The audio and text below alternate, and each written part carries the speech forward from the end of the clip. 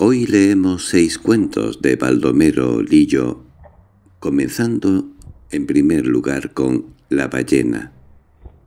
Baldomero Lillo nació el 6 de enero de 1867 en San Bernardo, región metropolitana de Santiago.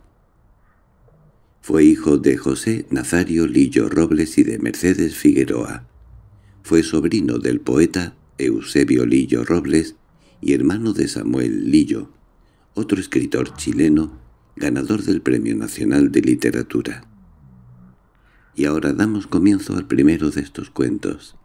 Espero que te gusten. La ballena. Un cuento de Baldomero Lillo.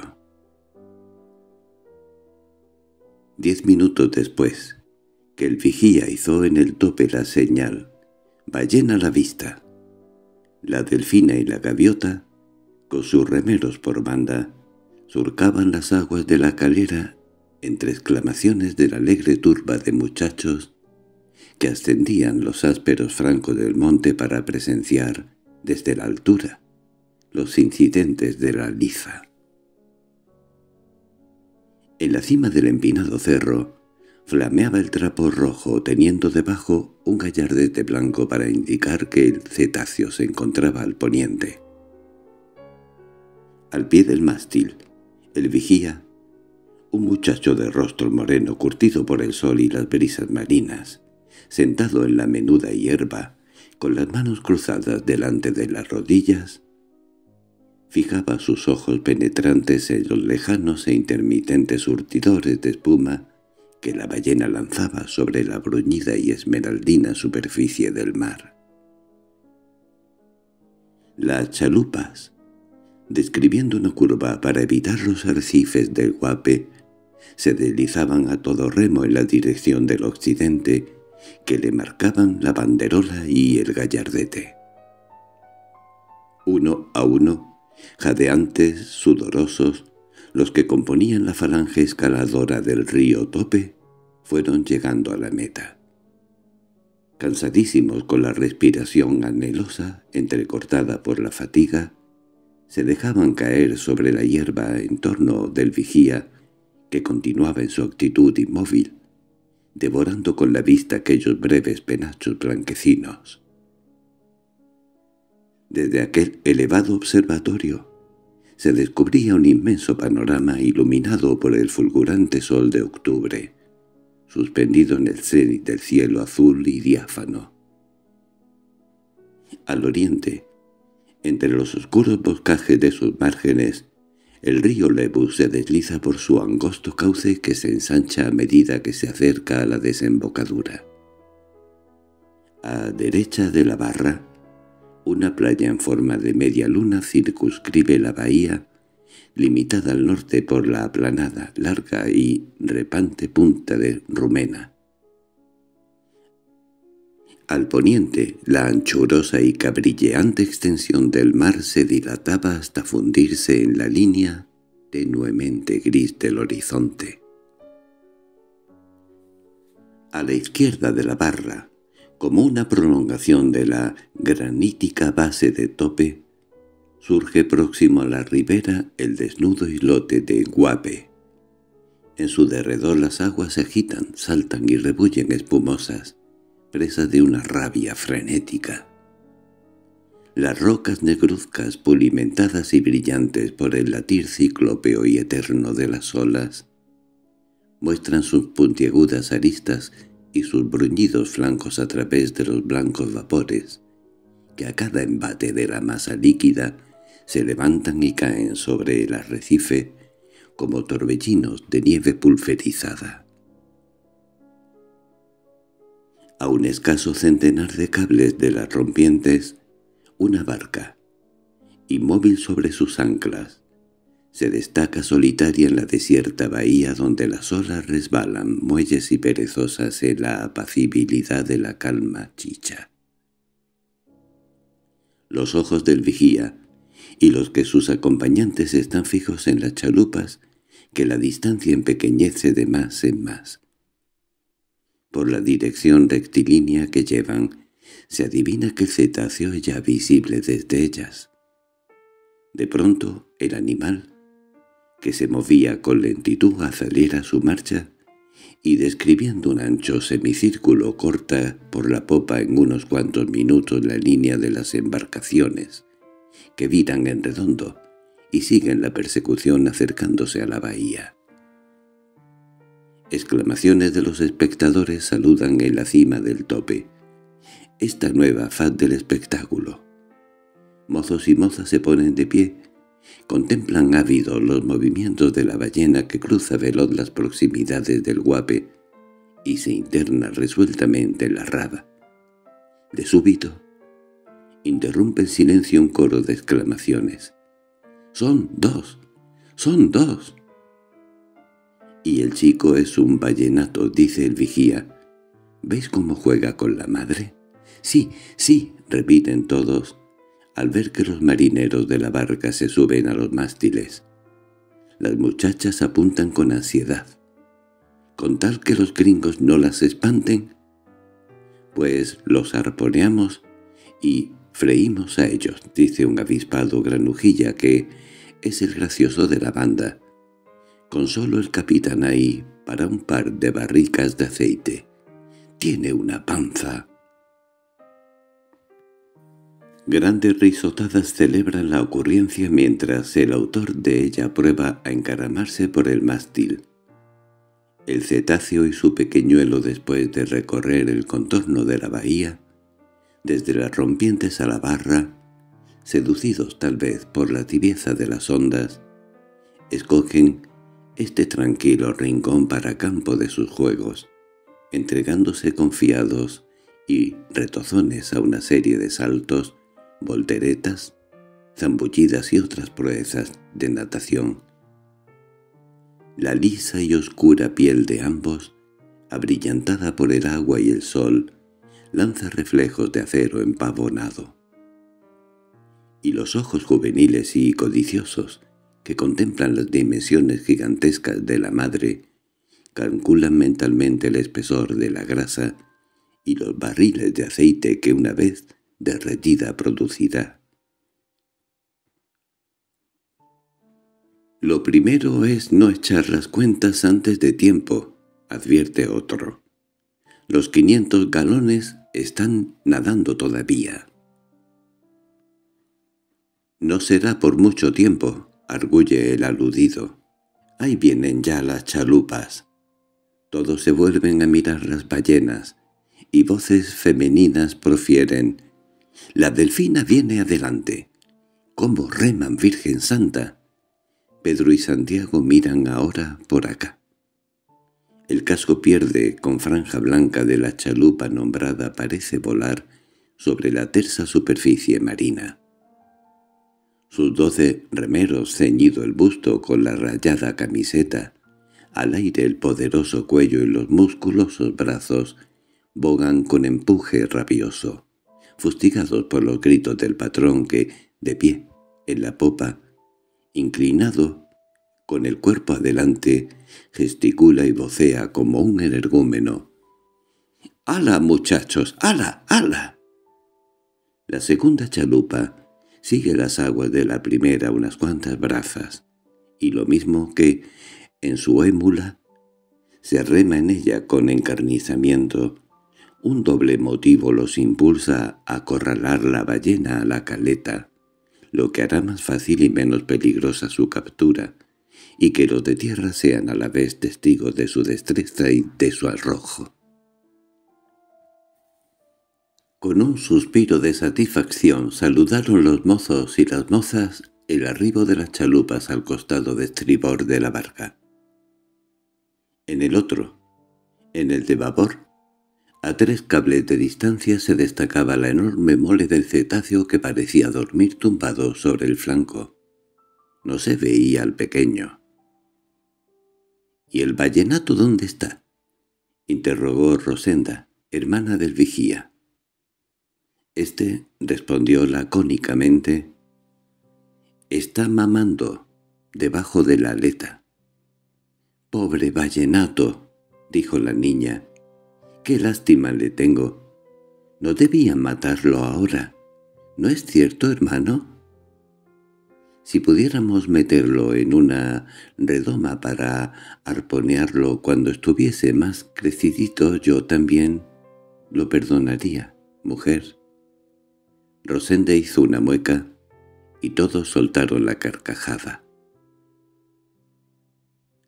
Al hablar las dos chalupas, concertaron en un instante su plan de ataque, que empezaron a poner en práctica avanzando en dirección del cetáceo sigilosamente mientras los remos caen en el agua sin producir el más leve ruido. Los arponeros requieren los arpones examinando con cuidado minucioso las distintas partes del instrumento, especie de venablo arrojadizo, compuesto de una delgada varilla de acero de 120 centímetros y de un asta de madera de metro y medio de longitud.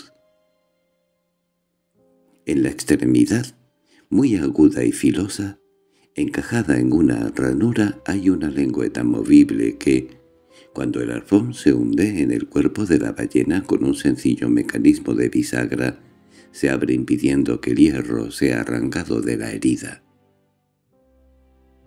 El arponero, cuando la ballena está a la vista, es el personaje más importante a bordo de una ballenera.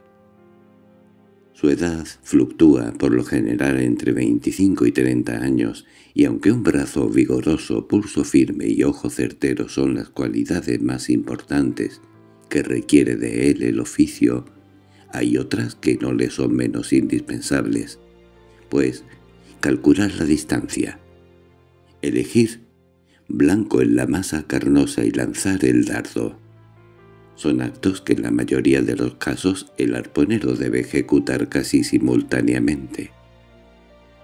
Además, la responsabilidad que sobre él pesa es enorme, pues como solo dispone de un arponazo, porque la ballena tocada o no, no dejará repetir el golpe, si lo yerra no solo queda deshonrado, sino que la ignominia se extiende a la tripulación siendo todos objeto de la rechifla de chicos y grandes, que no les perdonan lo que ellos consideran un robo hecho al gremio. Como es natural, el arponero toca la mayor parte de esta vengativa hostilidad y, por afortunado que sea, en lo sucesivo, no podrá hacer olvidar su fracaso mientras viva. Santiago, arponero de la Delfina, es un mozo de 24 años, de recia y atlética musculatura, un arponazo cuando ambas chalupas eran rivales y trabajaban cada una por su cuenta, lo hizo famoso entre los de la profesión. El hecho pasó del modo siguiente. Una mañana se avisó una enorme ballena en las proximidades del Guape. Aunque la delfina salió al mar la primera, la rotura de un remo le hizo perder un tiempo precioso que aprovechó para entrársele la gaviota. Cuando el arponero de ésta, con el arpón en alto buscaba para herir la distancia se acortara algunas brazas. Santiago lanzó el suyo, rápido como el rayo, por encima de la chalupa enemiga, con el acierto que al cetáceo herido mortalmente huyó arrastrando tras sí a sus captores y dejando a los de la gaviota con un palmo de narices y petrificados de estupor y de rabia. Mientras las embarcaciones se deslizan como sombras por el agua, los patrones de ambas observan si se ha escapado algún detalle. En el fondo debajo de los bancos brillan las lanzas especie de cuchillas de hoja ancha de más de un palmo, con las que se remata el animal agonizante. Frente al castillo de proa está la línea Manila de cuatro torcidas de grosor de un dedo, sin una sola falla en sus doscientas brazas. Enrollada cuidadosamente, está lista para deslizarse tras el arpón cuando éste tire de ella cumplida ya su misión de muerte. La consigna de Santiago y de su camarada de la gaviota es arponear la ballena y solo en último caso dar esta preferencia al ballenato. La dura experiencia les ha enseñado que una ballena a la que se ha arponeado la cría no huye, sino que arremete contra la embarcación, siendo muy difícil librarse de los golpes de sus aletas y de su cola. En tanto que las chalupas avanzan sobre el cetáceo inmóvil, un gran silencio reina en la cumbre del tope. La muchachada con angustiosa expectación contempla el cuadro emocionante, iluminado por los abrasadores dardos del sol. Los arponeros con el arpón fuertemente empuñado, rígidos los músculos, concentran toda su energía en la mirada. Sus oscuras pupilas destellan rayos. El patrón y los remeros son el busto ligeramente inclinado. Miran delante de sí con grandísima atención, listos para maniobrar con arreglo a las circunstancias en el momento oportuno. Cuarenta brazas separan aún las balleneras de su objetivo. A bordo nadie respira. Los arponeros lanzan pausadamente los arpones y adelantando el pie izquierdo echan atrás el arma diestra. Pasan dos, tres, cuatro segundos y, de súbito, antes de que arranque el mortífero venablo, el agua se agita en grandes oleadas y la ballena desaparece para aparecer en breve a corta distancia, lanzando al aire sus dos blancos y poderosos surtidores. Los rostros pálidos y sudorosos de los tripulantes enrojecen de despecho. Hay que empezar de nuevo. La maldita finge dormir, y algunos juramentos contenidos escapan de las secas fauces de los más impacientes. Solo los arponeros conservan su fría impasibilidad. Después de apoyar la punta del arpón sobre la borda, para no fatigar inútilmente el brazo, se vuelven hacia sus camaradas y les imponen silencio con un ademán. A corta distancia, el vallenato nada con flojedad girando aquí y allá sin ánimo de alejarse. Después del gran banquete que acaba de darse, sus movimientos son lentos. Basta de saltos y cabriolas que pueden interrumpir la digestión. Puede decirse al pequeño, «Leviatán», mientras rueda a flor de agua. La madre se acerca también, pero cuida de mantenerse a una respetable distancia. Los pescadores al ver la prudencia de sus movimientos piensan que, si ha sido perseguida otra vez, no será tarea fácil aproximarse, y comienzan a sentirse inquietos, temiendo ver malogradas sus esperanzas. No necesitaron de discursos para resolver la cuestión. Una mirada les bastó para decidirse a jugar el todo por el todo, arponeando al vallenato, antes que a la madre y al hijo le diera la humorada de lanzarse mar adentro unas cuantas millas. Antes que suceda tal desastre es necesario arriesgarse y se arriesgan. Además, la vista de la barca con su tripulación cabalgando sobre las vergas y la presencia de los amigos y parientes en la ribera y en los cerros les enardece afirmándolos en su propósito. Mientras las chalupas maniobran tratando de colocarse entre la madre y el hijo, el pequeño que nadaba a popa de la delfina aparece de pronto por la proa de la gaviota. A Ricardo le bastó un segundo para apuntar y lanzar el arpón, y el animal herido mortalmente, después de agitarse un instante tiñendo de rojo el mar, se hundió en él a plomo para flotar un rato después con el hierro clavado hasta el mango, inmóvil, rígido. Apenas arrojado el arpón, Ricardo se armó de una lanza, ejemplo que imitaron cuatro de los tripulantes. Los demás siguieron manejando los remos, haciendo retroceder la chalupa a toda fuerza. La ballena, en tanto, en el paroxismo del dolor y la rabia, se debatía furiosa en torno al hijo muerto. Por un momento pareció aplacarse, y de pronto se abalanzó como una tromba sobre el gaviota. El patrón tuvo apenas tiempo de gritar a sus hombres «¡Viren a babor!» cuando el monstruo pasó rozándoles. Dos lanzas se hundieron en sus flancos excitando el frenesí de la bestia, que se volvió para acometer de nuevo con doble furia. Esta vez no salió tan bien librada la gaviota, porque si logró evitar el coletazo que la hubiera reducido a fragmentos, no pudo evitar la montaña de agua que el formidable apéndice del gigante alzó de pronto y que la abordó por el costado.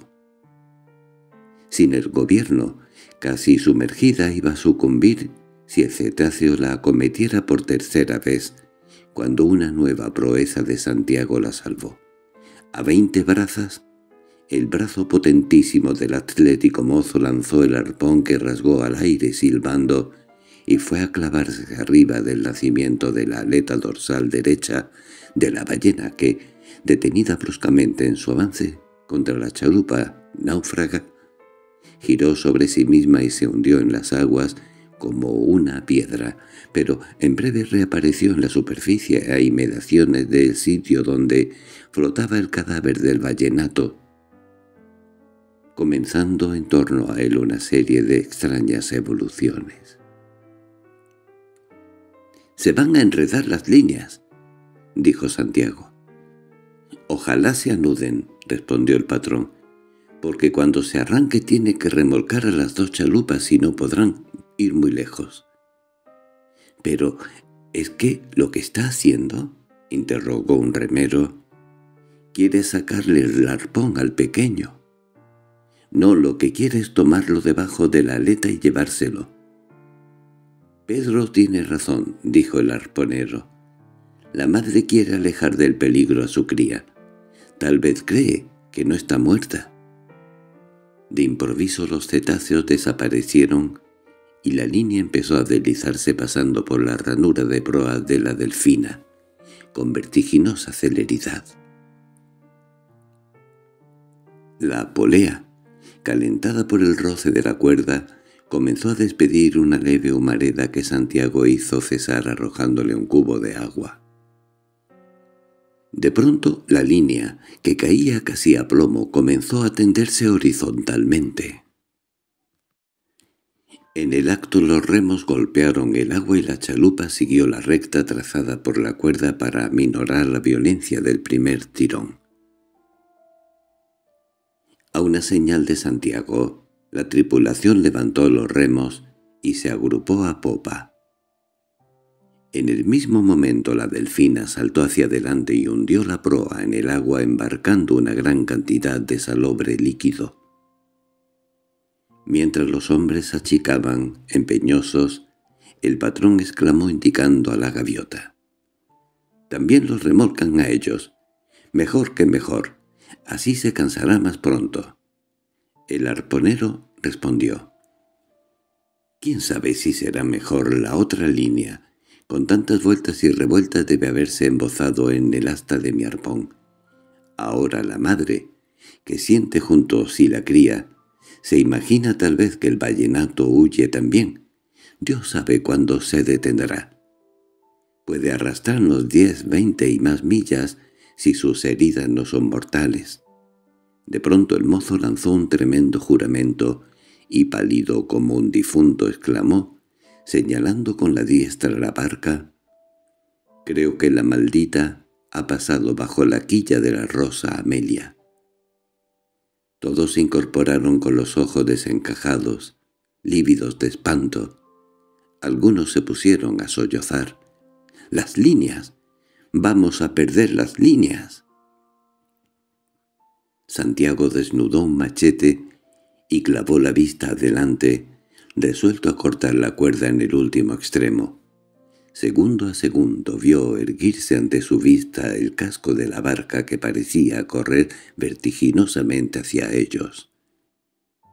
El enorme flanco rojo y negro, coronado por los últimos mástiles, aumentaba el tamaño con tal rapidez que, de pronto, vio los semblantes asustados de los marineros y oyó sus voces para que cortaran la cuerda, lo que hizo a treinta brazas, lo suficiente para que el choque no despedazara a la chalupa. La línea de la gran gaviota, debido tal vez a las asperezas de la quilla, se había cortado a cien brazas del buque. El desaliento a bordo de las balleneras duró solo breves instantes. Minutos después ambas seguían a todo remo en persecución del cetáceo, que se dirigía hacia el norte, dejando señalada su ruta con una estela de sangre. Fin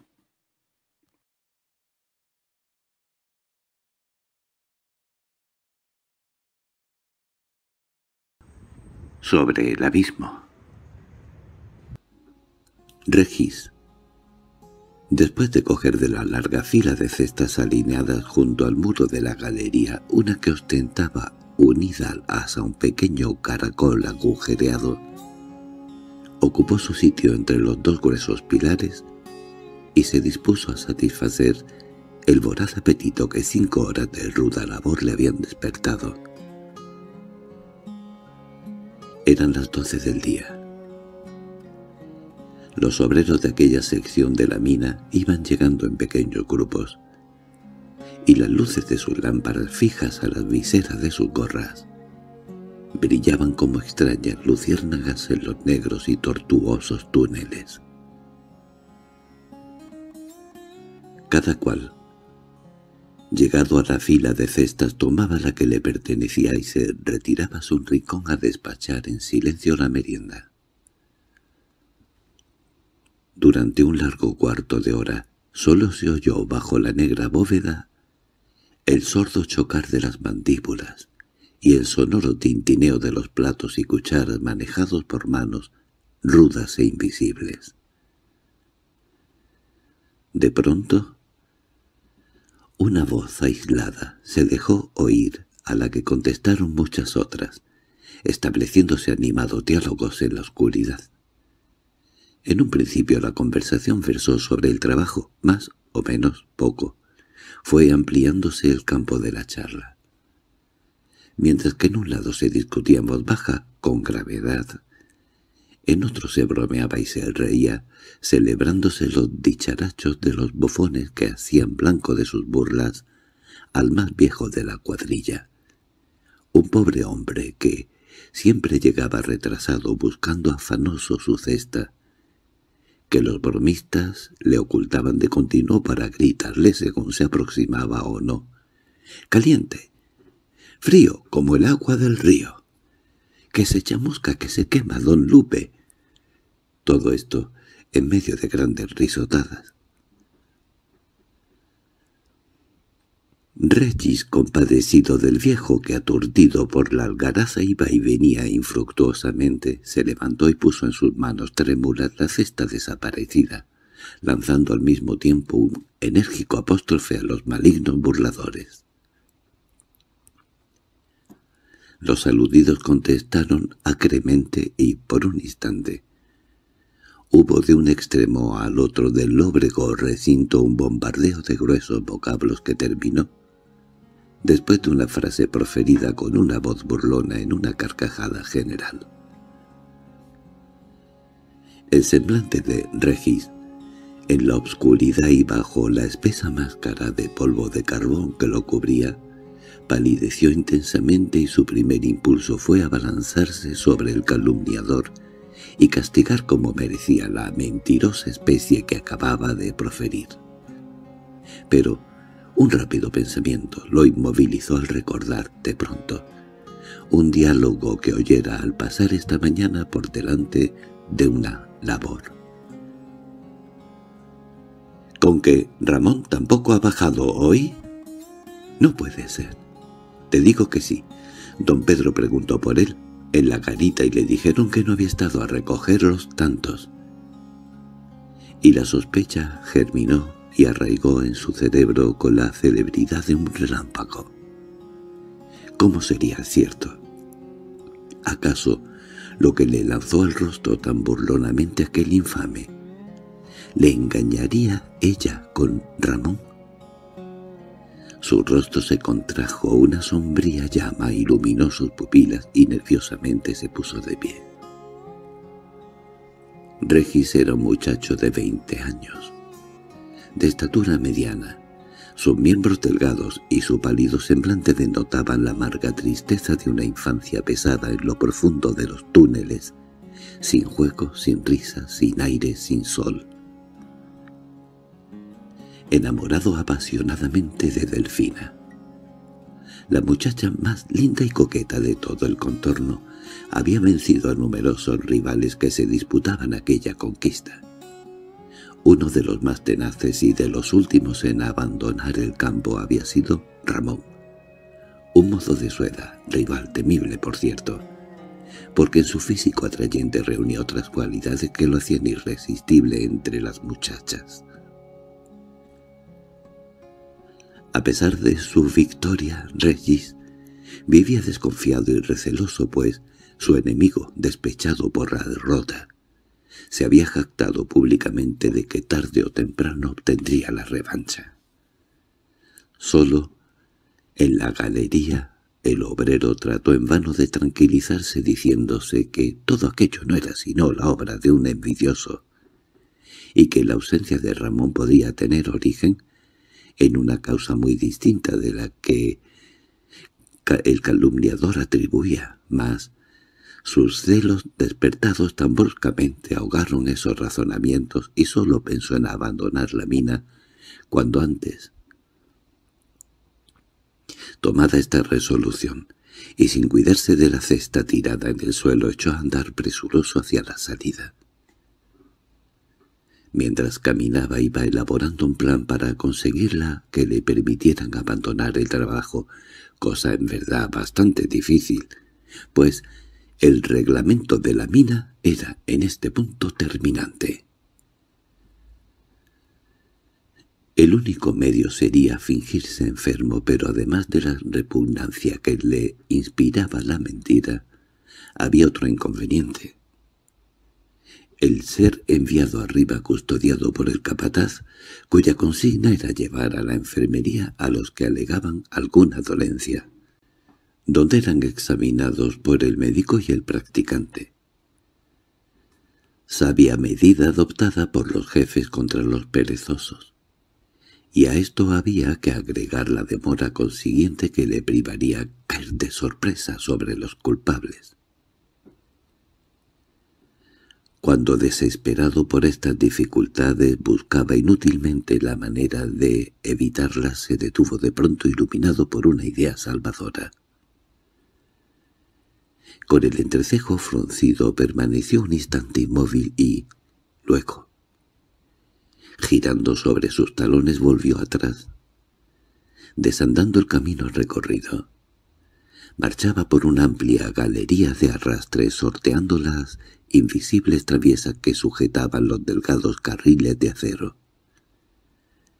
De súbito torció a la derecha y se internó en una revuelta estrecha, empinada y bajísima.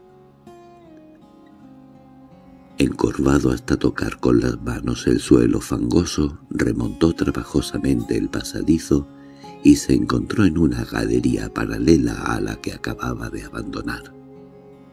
Era un viejo túnel fuera de servicio que comunicaba con el pique por una abertura situada a 30 metros encima de la entrada de la galería principal.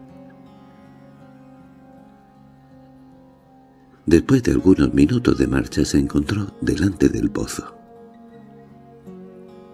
De pie, en el reborde saliente de la roca, sondeó la negra profundidad de la que subía un vago murmullo de voces apagadas que indicaban la presencia de obreros en la puerta del corredor. Regis apagó la lámpara para que el reflejo de la luz no lo denunciase, e inclinándose un tanto y alargando la diestra al vacío, pudo tocar con la punta de los dedos uno de los cables niveles a lo largo de los cuales se deslizaba el ascensor. Su plan, aunque audaz y peligroso en extremo, era, sin embargo, facilísimo de ejecutar. Dentro de algunos minutos, terminada la hora de la comida, la mina entera reanudaría su labor. Puesta la máquina en movimiento, mientras que el ascensor que estaba ahí debajo de sus pies llevaba a lo alto su carga mineral en el otro que estaba arriba, descendería el capataz mayor. Como la máquina trabajaría entonces en el mínimo de velocidad, podía, maniobrando con viveza y sangre fría, tomar a su paso por delante de él el ascensor, cogiéndose de una de las barras transversales del aparato. A esa hora estaba seguro de no encontrar arriba ninguno de los jefes y a su escapada, salvo para unos pocos compañeros, pasaría desapercibida. Resuelto llevar a cabo la tentativa y fijado en su cerebro los detalles del procedimiento, esperó, aguzando la vista y el oído, el instante de obrar. Un débil resplandor frotaba de abajo permitiéndole descubrir la brillante superficie del delgado cable a cuya extremidad se hallaba inmóvil el ascensor. De súbito, un ligerísimo rumor partió del pozo. Regis hizo un movimiento y se estremeció. Su oído ejercitado adivinó en aquella vibración en las sacudidas del hilo de señales que transmitirían a la máquina el aviso de que, abajo, la maniobra para izar estaba lista.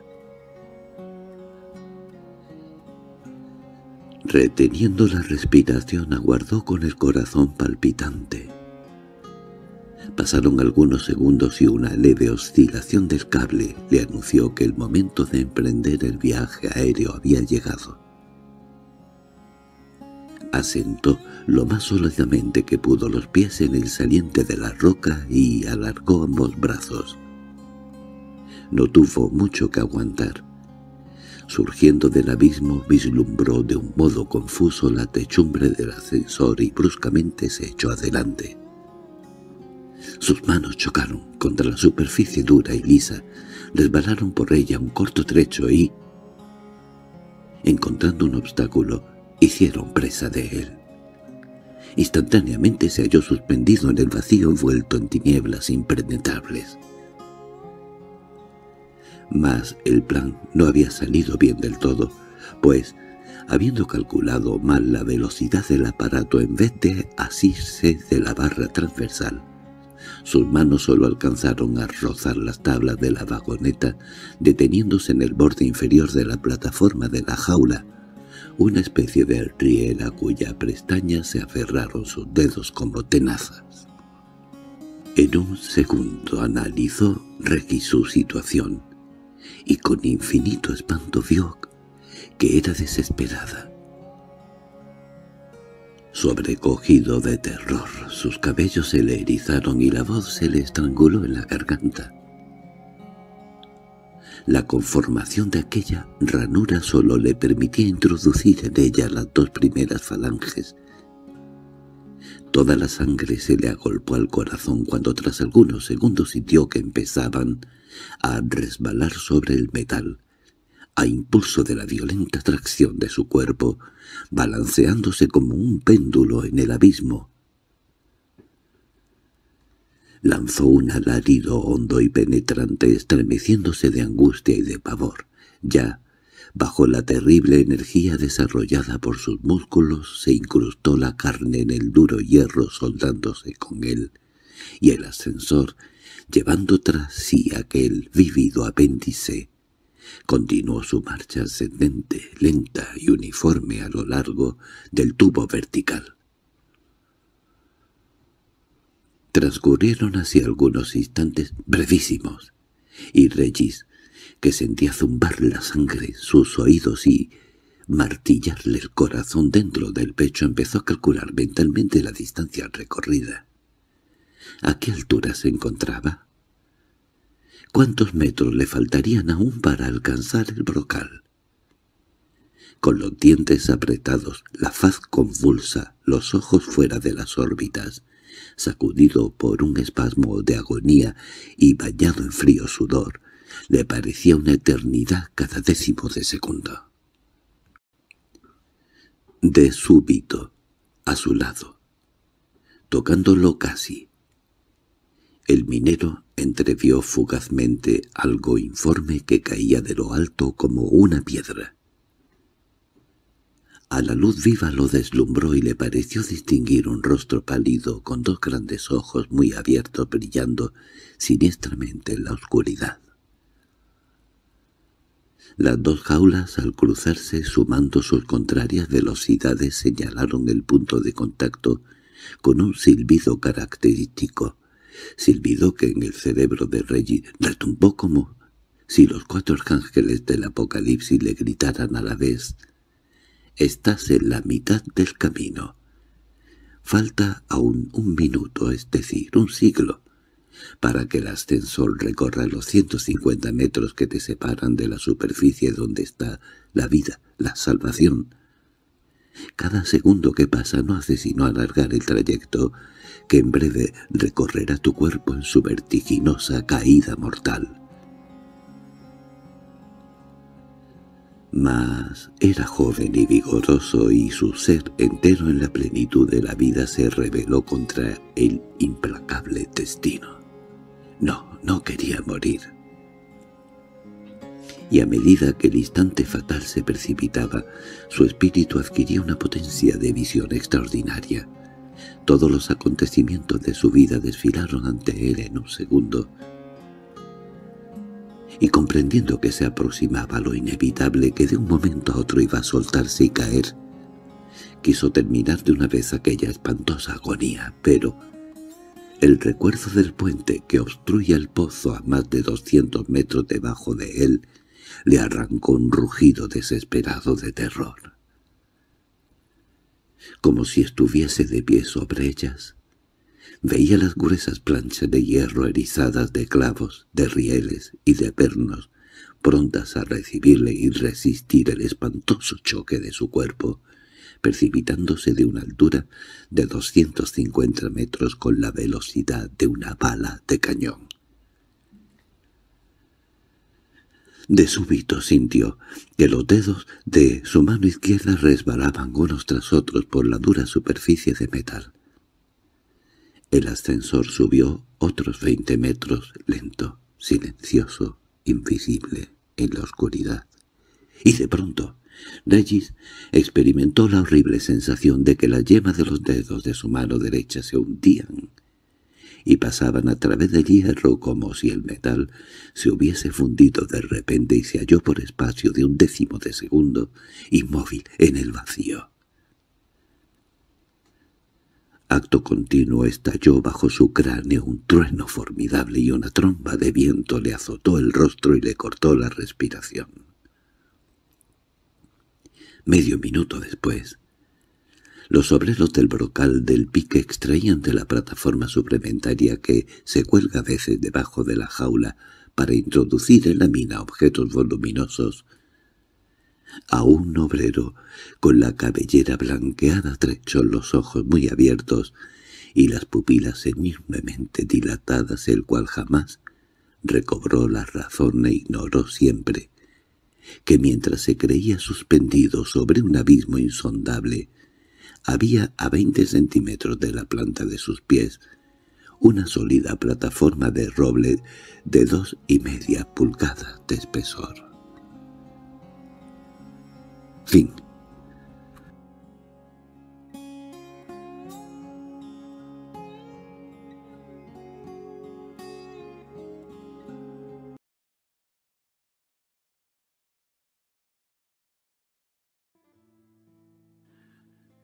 El remolcador. Un cuento de Baldomero Lillo. Créanme ustedes que me cuesta trabajo referir estas cosas. A pesar de los años, su recuerdo me es todavía muy penoso. Y mientras el narrador se concentraba en sí mismo para escudriñar en su memoria, Hubo por algunos momentos un silencio profundo en la pequeña cámara del bergantín. Sin la ligera oscilación de la lámpara colgada de la ennegrecida techumbre, nos hubiéramos creído en tierra firme y muy lejos del delfín, anclado a una milla de la costa. De pronto, se quitó el marino la pipa de la boca y su voz grave y pausada resonó.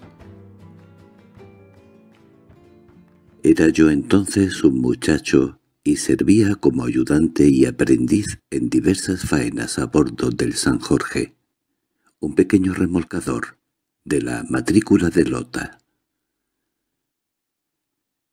La dotación se componía del capitán, del timonel, del maquinista, del fogonero y de este servidor de ustedes, que era el más joven de todos. Nunca hubo en el barco alguna tripulación más unida que la de este querido San Jorge. Los cinco nos formábamos más que una familia, en la que el capitán era el padre y los demás los hijos. Y qué hombre era nuestro capitán. Cómo le queríamos todos. Más que cariño era idolatría la que sentíamos por él. Valiente y justo, era la bondad misma. Siempre tomaba la tarea para sí más pesada, ayudando cada cual en la propia con un buen humor que nada podía enturbiar. Cuántas veces viendo que mis múltiples faenas me tenían rendido, casi reventado vino hacia mí diciéndome alegre y cariñosamente, «Vamos, muchacho, descansa ahora un ratito mientras yo estiro un poco los nervios» y cuando desde el toldo, a cubierto del solo de la lluvia, miraba el ancho corpachón del capitán, su rostro colorado, sus bigotes rubios un tanto canosos y sus ojos azules de mirada franca como la de un niño, sentía que una ternura dulce y profunda me inundaba el alma y desbordaba de mi razón.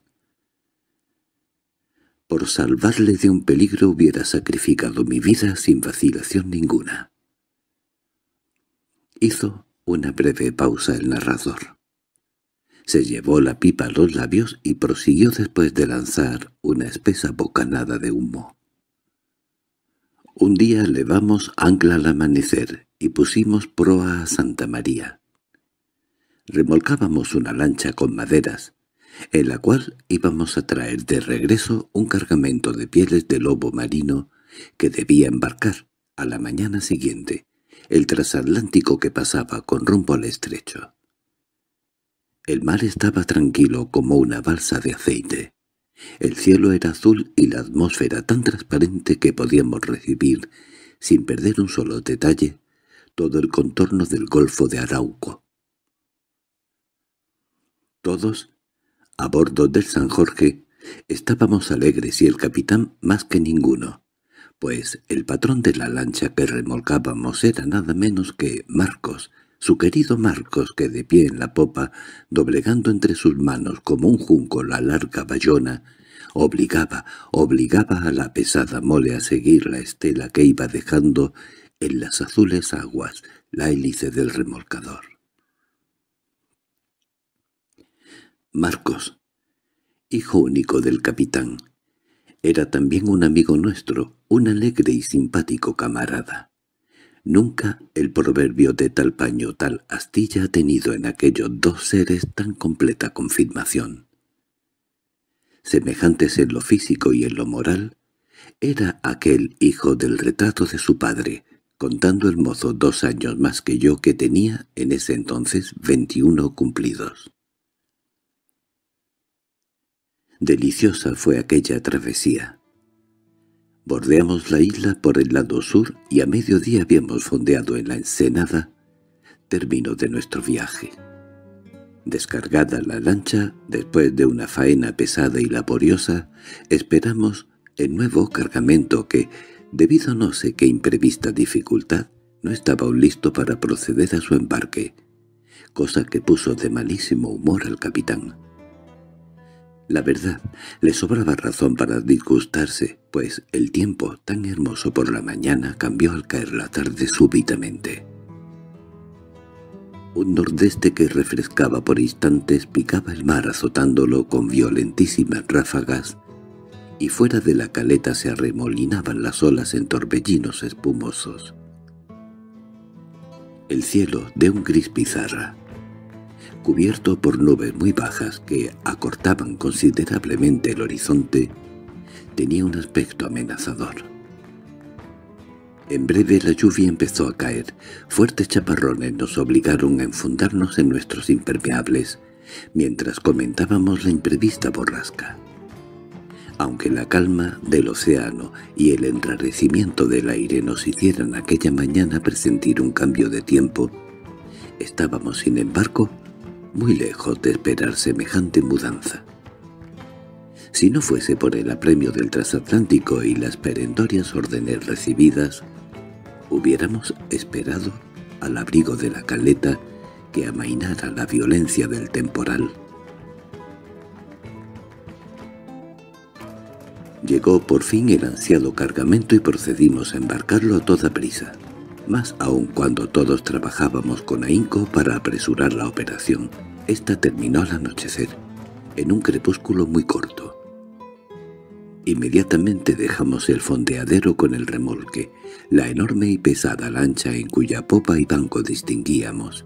Las siluetas del patrón y de los cuatro remeros se destacaban como masas borrosas a través de la lluvia y de los copos de escuma que arrebataba el viento huracanado de las crestas de las olas.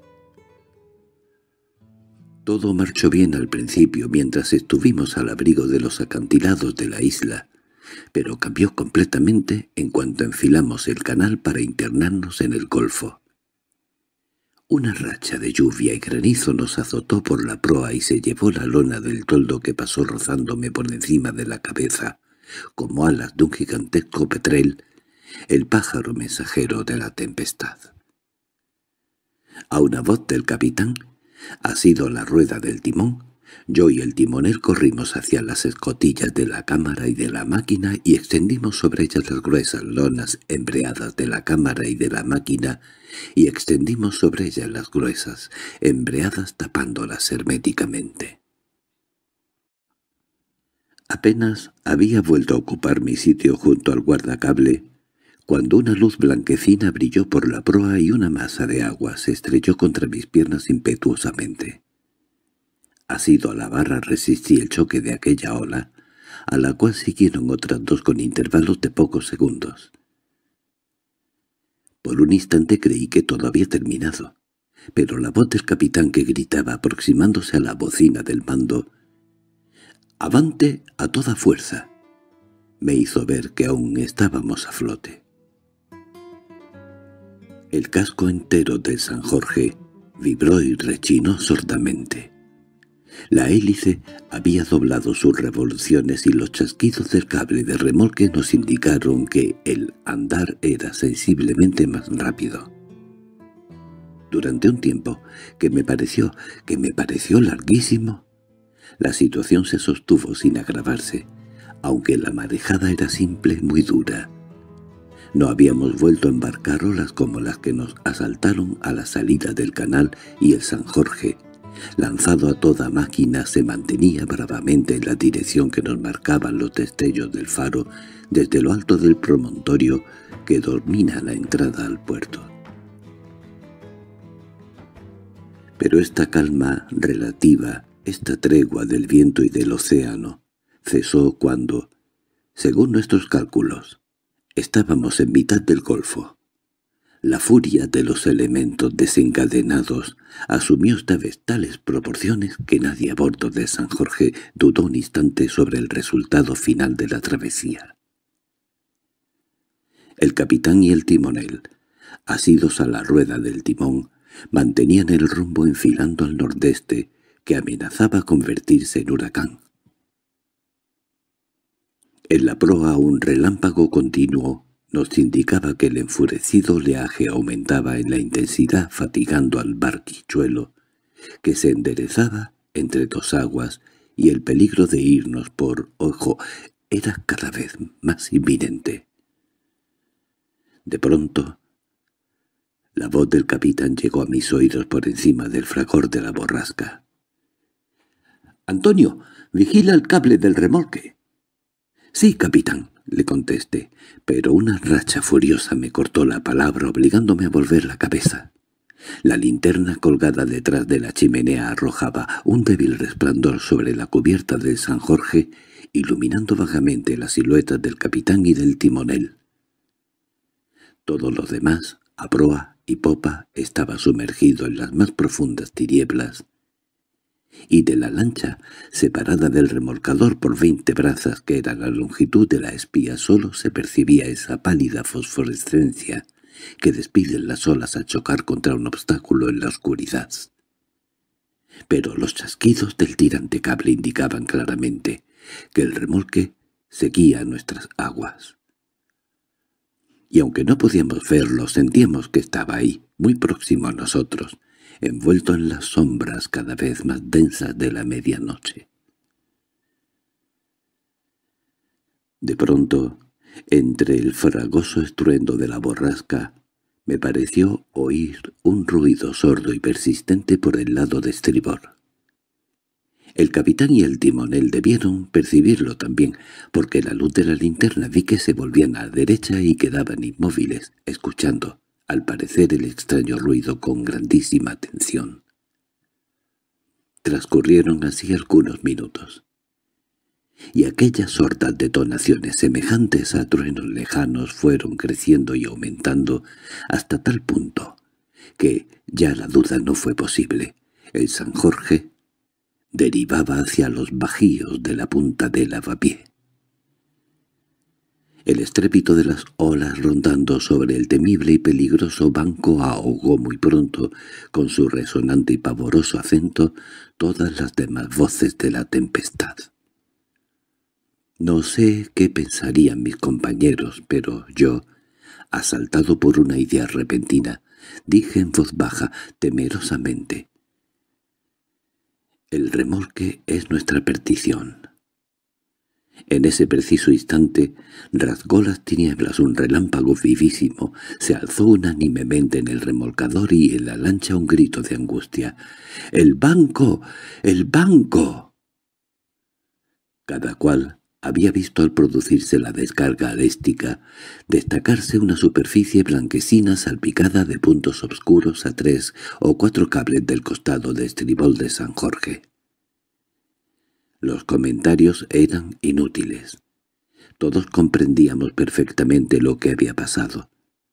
La gran superficie que la lancha semidescargada oponía al viento no sólo disminuía la marcha del remolcador, sino que también llegaba hasta anularla por completo. Desde que salimos del canal no habíamos avanzado gran cosa, siendo arrastrados por la corriente hacia el banco que creíamos a algunas millas de distancia.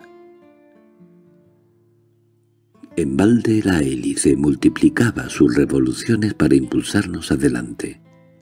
La fuerza del viento era más poderosa que la máquina y derivábamos lentamente hacia el bajío cuya proximidad ponía en nuestros corazones un temeroso espanto. Solo una cosa nos restaba que hacer para salvarnos. Cortar sin perder un minuto el cable del remolque y abandonar la lancha a su suerte. Virar en redondo para acercarnos a Marcos y sus compañeros era zozobrar infaliblemente apenas las olas nos cogiesen por el flanco. Para nuestro capitán el dilema era terrible. O perecíamos todos, o salvaba su buque enviando a su hijo a una desastrosa muerte. Este pensamiento me produjo tal conmoción que olvidando mis propias angustias solo pensé en la horrible lucha que debía librarse en el corazón de aquel padre tan cariñoso y amante.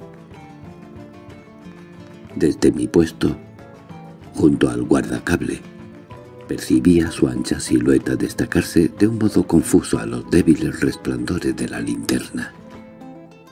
Aferrado a la barandilla trataba de adivinar por sus actitudes si, además de esa alternativa, Él veía otra que fuese nuestra salvación. Quién sabe si una audaz maniobra, un auxilio inesperado o la caída brusca del nordeste pusiese un feliz término a nuestras angustias. Mas toda maniobra que no fuese mantener la proa al viento era una insensatez y de ahí, de las tinieblas, ninguna ayuda podía venir. En cuanto a que aminorase la violencia de la borrasca, nada, ni el más leve signo, lo hacía presagiar. Por el contrario, recrudecía cada vez más la furia de la tormenta. El estampido del trueno mezclaba su doble atronador, el bravido de las rompientes y el relámpago desgarrando las nubes amenazaba incendiar el cielo. A la luz enseguezadora de las descargas eléctricas vi cómo el banco parecía venir a nuestro encuentro. Algunos instantes más y el San Jorge y la lancha se irían dando tumbos por encima de aquella vorágine. Entonces, dominando el ensordecedor estrépito, se oyó la voz atronadora del capitán que decía junto a la bocina de mando, «¡Cargar las válvulas!». Una trepidación sorda me anunció un momento después que la orden se había cumplido. La hélice debía girar vertiginosamente porque el casco del remolcador gemía como si fuera de digregarse. Yo veía al capitán revolverse en su sitio y adivinaba su infinita desesperación al ver que todos sus esfuerzos no harían sino retardar por algunos minutos la catástrofe. De improviso se alzó la escotilla de la máquina y asomó por el hueco la cabeza del maquinista. Una ráfaga le arrebató la gorra y arremolinó la nevada cabellera sobre su frente. Asido al pasamanos permaneció un instante inmóvil, mientras rasgaba las tinieblas un deslumbrador relámpago. Una ojeada le bastó para darse cuenta de la situación, y esforzando la voz por encima de aquella infernal varaunda gritó «¡Capitán! ¡Nos vamos sobre el banco!» El capitán no contestó y si lo hizo su réplica no llegó a mis oídos. Transcurrió así un minuto de expectación que me pareció inacabable. Un minuto que el maquinista empleó, sin duda, en buscar un medio de evitar la inminencia del desastre. Pero el resultado de este examen debió serle tan pavoroso que, a la luz de la linterna suspendida encima de su cabeza, vi su rostro que se demudaba y adquiría una expresión de indecible espanto al clavar los ojos en el viejo camarada, a quien el conflicto entre su amor de padre y el deber imperioso de salvar la nave, confiada su honradez, mantenía anodadado, loco de dolor, junto a la rueda del gobernador. Pasaron algunos segundos. Al maquinista avanzó algunos pasos agarrado a la barandilla y se puso a hablar, esforzando la voz de una manera enérgica. Mas era tal el fragor de la borrasca que sólo llegaron hasta mí palabras sueltas y frases vagas e incoherentes. Resignación, voluntad de Dios, honor, deber. Sólo el fin de la arenga percibió completo.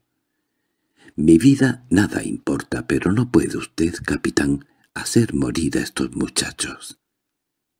El anciano se refería a mí, al timonel y al fogonero, cuya cabeza se asomaba de vez en cuando por la abertura de la escotilla. No pude saber si el capitán respondió o no al llamamiento de su viejo amigo, porque el mugido de las olas que barrían el barco se mezcló en ese instante al retumbo violento de un trueno. Creí llegada mi última hora. De un momento a otro íbamos a tocar fondo, y empezaba a balbucear una plegaria cuando una voz que reconocí ser la de Marcos se alzó en las tinieblas por la parte de popa. Aunque muy debilitada oí distintamente estas palabras. «Padre, cortad el cable pronto, pronto». Un frío estremecimiento me sacudió de pies a cabeza. Estábamos al final de la batalla e íbamos a ser tumbados y tragados por la hirviente cima dentro de un instante. La figura de Marco se me apareció como la de un héroe. Perdida toda esperanza, la entereza que demostraba en aquel trance hizo acudir las lágrimas a mis ojos. Valeroso amigo, ya no nos veremos más. El San Jorge, asaltado por las olas furiosas, empezó a bailar una infernal zarabanda.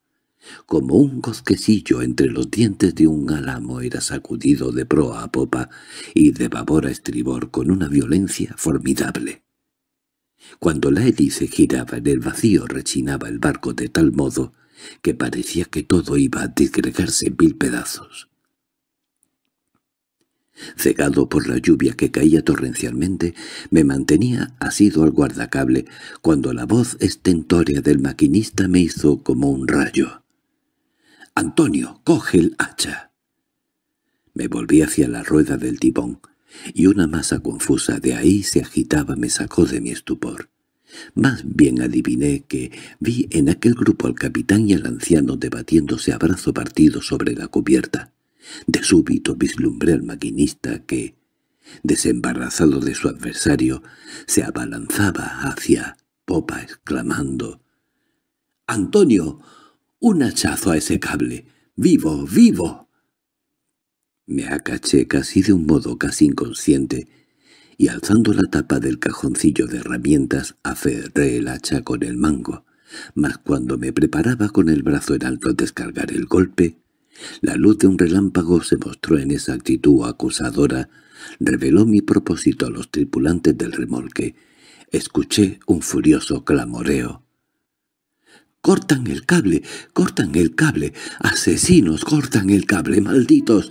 ¡No! ¡No! ¡Asesinos!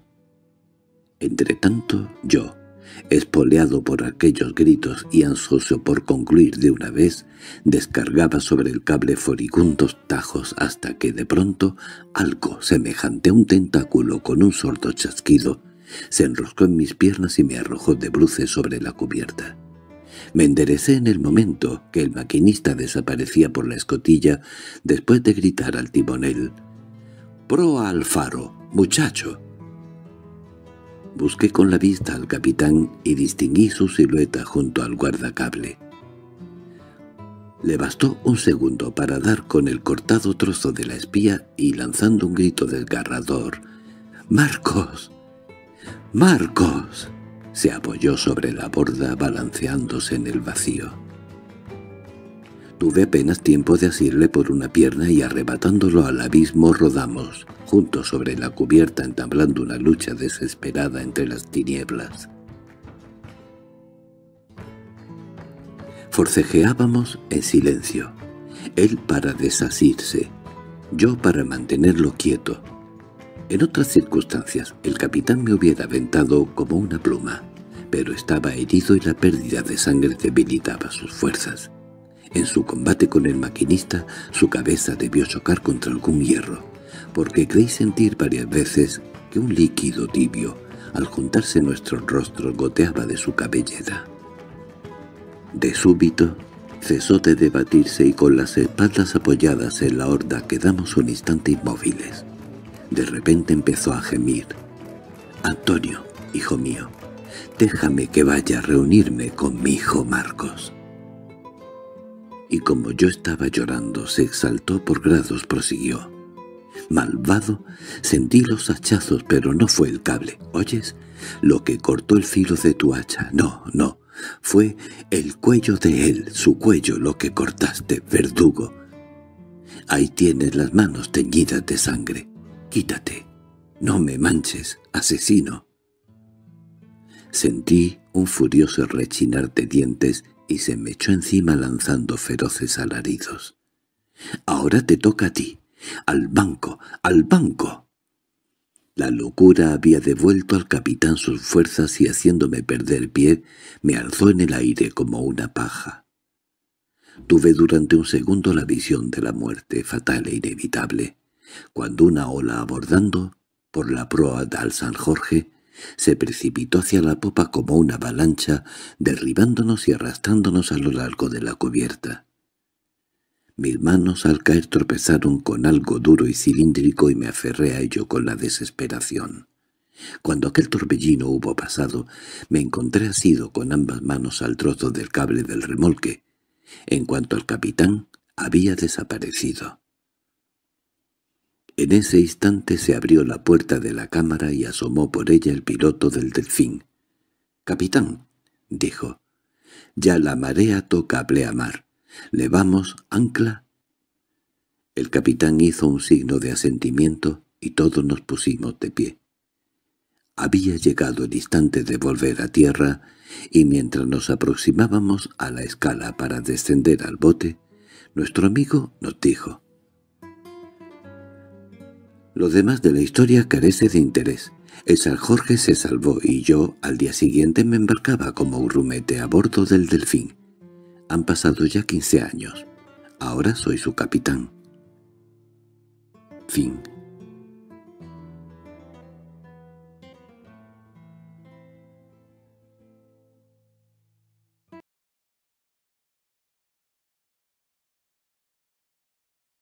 Espero que te guste. Cómo me burlé yo siempre de aquel palurdo, del simplísimo malvavisco como le llamábamos los campesinos. Su verdadero nombre era Benito. Vaquero de un fondo colindante, tuvo un día la desgracia de que, al enlazar un novillo a la carrera, se le enroscara en el dedo corazón de la mano derecha una espiral del lazo que le arrancó las dos primeras falanges. Enconada la herida, estuvo a punto de perder la mano y aún el brazo, salvándose de este peligro gracias a una cierta infusión de malvavisco. A fuerza de ensalzar la bondad y excelencia de la maravillosa planta y de repetir incansablemente su nombre, se le quedó este por apodo. Desde un principio y en cuanto estábamos en conocimiento fuimos grandes amigos, pues Malvavisco era un cazador a quien acompañé varias veces en sus excursiones cinegéticas. Mas, un día, mi mal hada inclinación a la broma me privó de este agradable pasatiempo. Como esta aventura me dio gran ruido en ambos fundos, quiero relatarla aquí, detalladamente. Nos encontrábamos una mañana en un extenso y arenoso sembrado de pequeños matorrales cansando torcazas. Los resultados eran casi nulos, pues las aves se mostraban desconfiadas costando gran trabajo aproximarnos. Varias veces había pedido a Malvavisco que me prestase Boca Negra, su famosa escopeta, para tentar fortuna disparando un tirito por mi cuenta. Pero se había negado a ello tercamente, lo cual me tenía de pésimo humor y dispuesto a cualquier diablura. La ocasión de vengarme de su egoísta proceder llegó de improviso en el momento en que tras un disparo soltó el cazador la escopeta para correr en pos de la torcaza herida.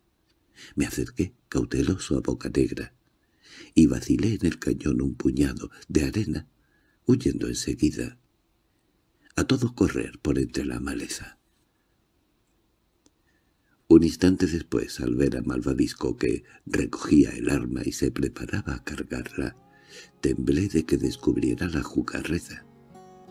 Entonces para distraerle salí del matorral en donde estaba emboscado y le silbé haciéndole al mismo tiempo señas apremiantes de que se apresurase, dándole a entender que podía hacer un magnífico tiro desde el sitio en que me encontraba. Como era de suponer, cayó en el garlito. Dando al olvido sus habituales precauciones, cargó el arma con débil impaciencia corriendo enseguida a refugiarse precipitadamente. La casualidad me ayudó una vez más, pues en el instante en que llegaba desalado una bandada de torcadas acababa de posarse en el matorral cercano. Verlas el cazador y agazaparse preparando la escopeta fue todo uno. Con el dedo en el gatillo y los ojos brillantes de homicida, Codicia examinó un instante las aves y luego, apoyándose en las rodillas y en los codos, comenzó a arrastrarse silencioso entre las hierbas altas. Yo me había tendido en tierra, y apenas podía contener las irresistibles ganas de reír que me asaltaban al observar el cuidado exquisito que ponía en sus menores movimientos, malvavisco para asegurar aquel tiro posible. Por fin, después de un sinnúmero de ojeos y detenciones, debí echarse la escopeta a la cara y disparar. Como era lógico, solo el fulminante prendió. Las torcazas, asustadas por el ruido del rasquillazo, levantaron el vuelo alejándose presurosas.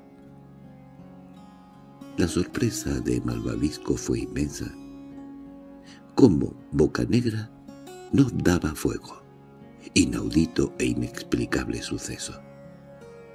Atónito examinaba el arma dándole vueltas entre sus manos, sin atreverse a mirarme, todo avergonzado y lleno de confusión. Alzó el gatillo, extrajo el quemado fulminante y vaciando en la palma de la mano un poco de pólvora, cebó la chimenea con cuidado después de introducir en ella un largo alfiler. Apenas había terminado esta delicada operación cuando una bandada de torcadas se abatió con ruidoso aleteo en un bosquecillo a cincuenta metros de distancia. Parecía que las malditas, poco antes, tan hurañas y ariscas, querían, a su vez, tomar parte en la fiesta como cómplices de la pesadísima broma ayudándome en el complot. Malvavisco, con la escopeta preparada, se deslizó entre la maleza como un reptil. No se hizo esperar el segundo chasco. Un golpe seco, seguido de un brusco batir de alas, me anunció que Boca Negra se obstinaba en enmudecer. De nuevo tuve que hacer grandes esfuerzos para no soltar la carcajada delante de Malvavisco. Era tal el asombro la sorpresa y el aturdimiento impresos en su rubicundo semblante que sólo el miedo de delatarme impidió diera rienda suelta a la risa que me ahogaba. Con aire entontecido y estúpido miraba y remiraba el arma, devanándose los sesos para adivinar la causa de aquel intempestivo contratiempo, y para hacerle más amargo aquel trance, la caza, poco escasísima y tímida cual si fuese sabedora de que Boca Negra, la certera, la infalible Boca Negra, la mortífera Boca Negra se había convertido de pronto en un instrumento inofensivo. Acudía de todas partes con un aire de despreocupación y desafío tan insolente que experimenté un súbito arrepentimiento por mi felonía. Malvavisco estaba rojo, congestionado por la ira. Las torcazas revoloteaban tan próximas que parecían iban a posarse sobre nuestras cabezas y en la mismísima boca negra. Los zorzales, las tencas y las loicas se mostraban tan impávidas que sólo echaban a volar cuando iba a cogerlas con la mano. De pronto, la cólera del cazador estalló furiosa. Acababa de fallarle por décima vez la escopeta y, haciéndola por el cañón, la arrojó con ímpetu sobre una bandada de torcazas que alzaron el vuelo arremolándose atropelladamente. Bocanegra hendió, volteando la alada masa, derribando una docena de las audoces burloras que quedaron tendidas en la hierba con las alas rotas y debatiéndose en las ansias de la agonía.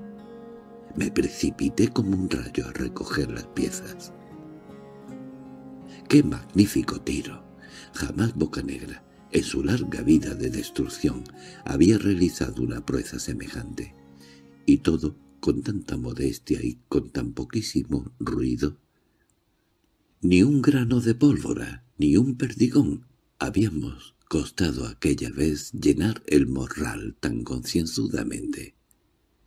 Sin embargo, Malvavisco no desarrugó el ceño y me pareció más bien avergonzado que satisfecho de su hazaña.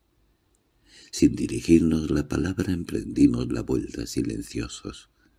Delante, Malvavisco, volteando entre sus manos la escopeta, abriendo y cerrando el gatillo, introduciéndole el alfiler y soplando en la chimenea, obstinándose en despejar aquella incomprensible incógnita con una terquedad de aragonés.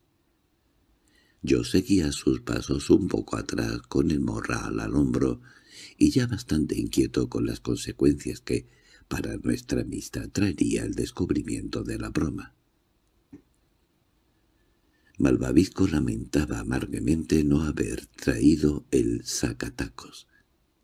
Era para él tan extraordinario el percance que creó. Se acusaba en secreto de haber invertido por alguna inconocible distracción el orden de la carga, echando en el cañón antes que la pólvora los perdigones. Chambonaba que hería cruelmente su amor propio de cazador avezado y diestro. Para su obtuso magín, el descubrimiento de aquel hierro era una humillación intolerable. De aquí su mudez para evitar todo comentario sobre el bochornoso suceso. Yo por mi parte iba también bastante preocupado. Una cuadra antes de llegar al rancho tiré a los pies de Malvavisco el morral, desoyendo sus instancias para que dividiese el contenido eché a correr por un sendero de travesía como alma que lleva el diablo. Pasaron muchos días antes que me atreviese a ponerme delante de Malvavisco. Cuando le veía de lejos torcía riendas y escapaba más ligero. Pero una mañana me fue imposible eludir el encuentro, y cuál no sería mi sorpresa al contemplar la cara regocijada del campesino y oírle decir «Patroncito, ¿qué se había hecho? ¿Cuándo vamos a casar otra vez?» Lo miré a los ojos estupefacto tratando de adivinar la intención oculta que, sin duda encerraba la gran actitud y mi asombro creció cuando, tras una breve pausa, prosiguió con tono convencido. «No tenga miedo que nos pase lo del otro día. Boca Negra está ahora como un reloj. Se dispara solita. Le saqué la chimenea vieja y le puse una nueva que... caza fulminante. Esto no se chingan, patrón, como los otros que por lo medianos no tienen a veces fuerza para prender la pólvora. Esta inesperada explicación me dejó atónito y proferí aturdidamente. ¿Cómo? ¿Entonces no fue la arena? El rostro de Malvavisco expresó la mayor sorpresa.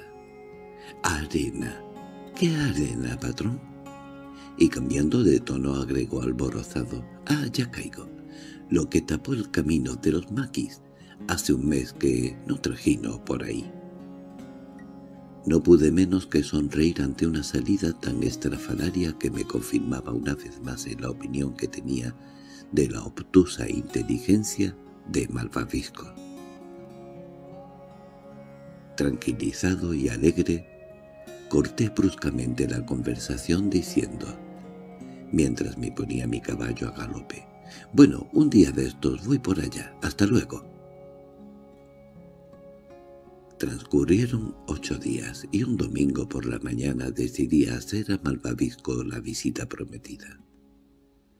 Después de ensillar mi mejor caballo me cerré en mi cuarto a ponerme un vistoso traje de guaso, chaqueta corta de paño azul con botonadura de nácar, pantalones blancos de borlón, polainas de charol, espuelas de plata con grandes y sonoras rodajas de acero.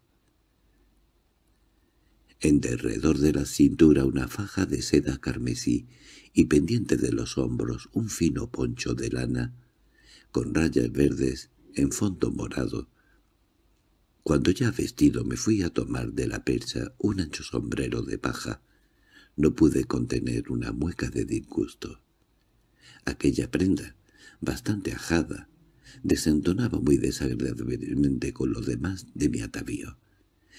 Sin querer mi pensamiento voló hacia la caja que contenía un precioso tanguito de plomo que, junto con su traje de amazona recibiera mi tía de la ciudad el día anterior.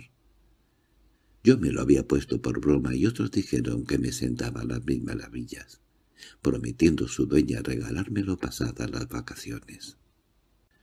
En un instante tomé mi partido. Entré furtivamente en el cuarto contiguo al dormitorio de mi señora tía, que aún no se había levantado. Cogí el sombrero, me lo puse bajo el poncho y bajé al corral. Monté enseguida al caballo y salí tranquilamente al camino. Cuando estuve seguro que nadie me veía, me quité el guarapón de paja, que tiré en un matorral, y me puse el tongo gris perla partiendo escape en demanda de la casa de Malfavisco. Yo, aunque no quería confesármelo, tenía motivos especiales para aparecer al día galán y apuesto hasta donde fuera posible. En la tarde del sábado había sabido la grata noticia del regreso de Jovita, la hija única de Malvavisco, ausente algunas semanas de la casa paterna. De catorce a quince años, muy morena, poseía la chica una graciosa boca, blancos dientes y unos hermosos ojos llenos de travesura. Su presencia me había turbado siempre, a pesar de mis esfuerzos para demostrar superioridad y desplante delante de ella, me sentía avergonzado y cohibido con las mejillas como brasas oyendo resonar a cada instante las burlonas carcajadas que le arrancaban mi palabra balbuciente y ademanes torpes y desmañados. En vano quería sobreponerme a mi cortedad, furioso de que una zafia campesinilla me subyugase de tal suerte. Experimentaba a veces al oír sus risas locas deseos vehemente de abofetearla. Pero una mirada dulce, una palabra cariñosa de la traviesa chiquila bastaban para desarmar mi cólera convirtiéndome en un babieca obediente a sus caprichos como un esclavo. Mientras galopaba por la carretera mi pensamiento volaba delante de mí. Un soplo de orgullo henchía mi pecho al considerar mi gentil apostura. Me imaginaba a Saz seductora e irresistible. ¡Qué pasmo para los palurdos! Debía producirle en mi presencia a buen seguro la impresión de gallardía y elegancia nunca vista. Así me lo fue conformando la actitud de los viandantes a lo largo del camino. En cuanto encontraba un guaso y fijaba en mí sus ojos, veía inmediatamente alargársele la boca hasta las orejas, contestando apenas, y ahogado por repentina tosecilla, el saludo protector que yo le dispensaba. Pero, por satisfactorio, que este mudo homenaje fuera para mi vanidad. No puede compararse a la sensación que produjo mi llegada donde Malvavisco. Apenas desmonté en el corredor del pajizo rancho. Todo el mundo se precipitó a mi encuentro en un entusiasmo y una algaraza tal de gritos y carcajadas, que me sentí grandemente lisonjeado por el efecto que producía en aquella buena gente mi elegancia y distinción. —A ver —me decía Jovita sofocada de risa—, póngase de frente, de perfil, dese ahora vuelta para mirarlo por detrás. ¡Ja, ja, ja, ja! Con manta y con tarro. Ahora sí que es de veras Josecito debajo del bate. Y tanto me zarandeaba y tironeaba de un lado para otro, que casi perdí el sentido, mareado por aquel éxito estupendo, colosal. Luego empezaron todos a gritar. «Remojo, remojo, que nos dé remojo», y, arrebatándome el sombrero, lo hicieron circular de mano en mano hasta que llegó a la de Malvavisco, quien lo examinó con gran atención, lo olió, lo miró por dentro, diciendo enseguida Parece un pájaro desplumado. ¡Qué bonito blanco para boca negra! La estúpida frase produjo una gran hilaridad. —¡Ya está! —gritó entusiasmada. —Jovita. Póngalo de blanco, pero que no se lo saque don Serafincito de la cabeza. Al oír esto me amostacé un poco, mas era tal hechicero aquel semblante, tan picaresca la expresión de esos pardos y risueños ojos que, como todos, me eché también a reír estúpidamente. Malvavisco, cuyo rostro estaba rubicundo, pues se hallaba algo bebido, se acercó muy alegre con los ojillos brillantes como ascuas, y me propuso a quemar ropa, señalándome con la diestra en dirección al huerto. «Hagamos una cosa, patrón. Ponga usted su sombrero en aquel pedal, y yo cuelgo el mío en este manzano. Enseguida cargamos a Boca Negra y ¡pim pam! Usted al mío y yo al suyo. Le soltamos un tiro a cada uno para probar la puntería. Era tan absurda y estúpida la proposición que miré al campesino con lástima. El pobre estaba borracho perdido, mas, como insistiera en su estrafalario propósito, le contesté. Si es por ensayar el pulso, tiremos a otro blanco, a una gallina, por ejemplo. No, no, a su tarrito y a mi chupalla es muchísimo más divertido. Voy a buscar a Boca Negra. Esta insistencia de borracho me produjo cierta inquietud y pensé, aunque vagamente, en la retirada. Pero en ese instante salió Jovita de la habitación en que acababa de entrar Malvavisco y llegándose donde yo estaba me dijo misteriosamente «Dígale que bueno, dos tan fincito» pero con la condición de que sea usted el que cargue la escopeta. No le vaya por Dios a echar pólvora, sino que ataconéela con papeles. Para que él no malicie yo lo voy a llamar de la cocina. Hágalo por mí, don Serafincito. Mire que les tengo tanto miedo a los tiros que me voy a caer muerta de susto por mi padre si se sale con la suya. Embargado, por una extraña y dulcísima sensación clavé en el rostro encantador de Jofita una mirada tal de sumisión que ella, sonriendo de una manera picaresca, dijo, mientras me daba un suave pellizco en el brazo, «¡Pícaro! ¿Y qué habilidoso es!» y escapó, soltando una argentina carcajada. Inflado como un pavo me erguí lleno de orgullo, Qué inteligente era aquella chiquilla. Cómo había penetrado de que yo no era ningún papanatas, sino un muchacho listo capaz de jugársela al mismo lucero del alba.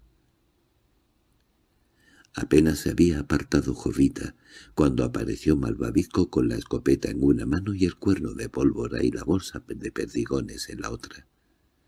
El pobre tontín estaba bastante chispo, lo cual me felicitaba la tarea de hacerle pasar gato por liebre.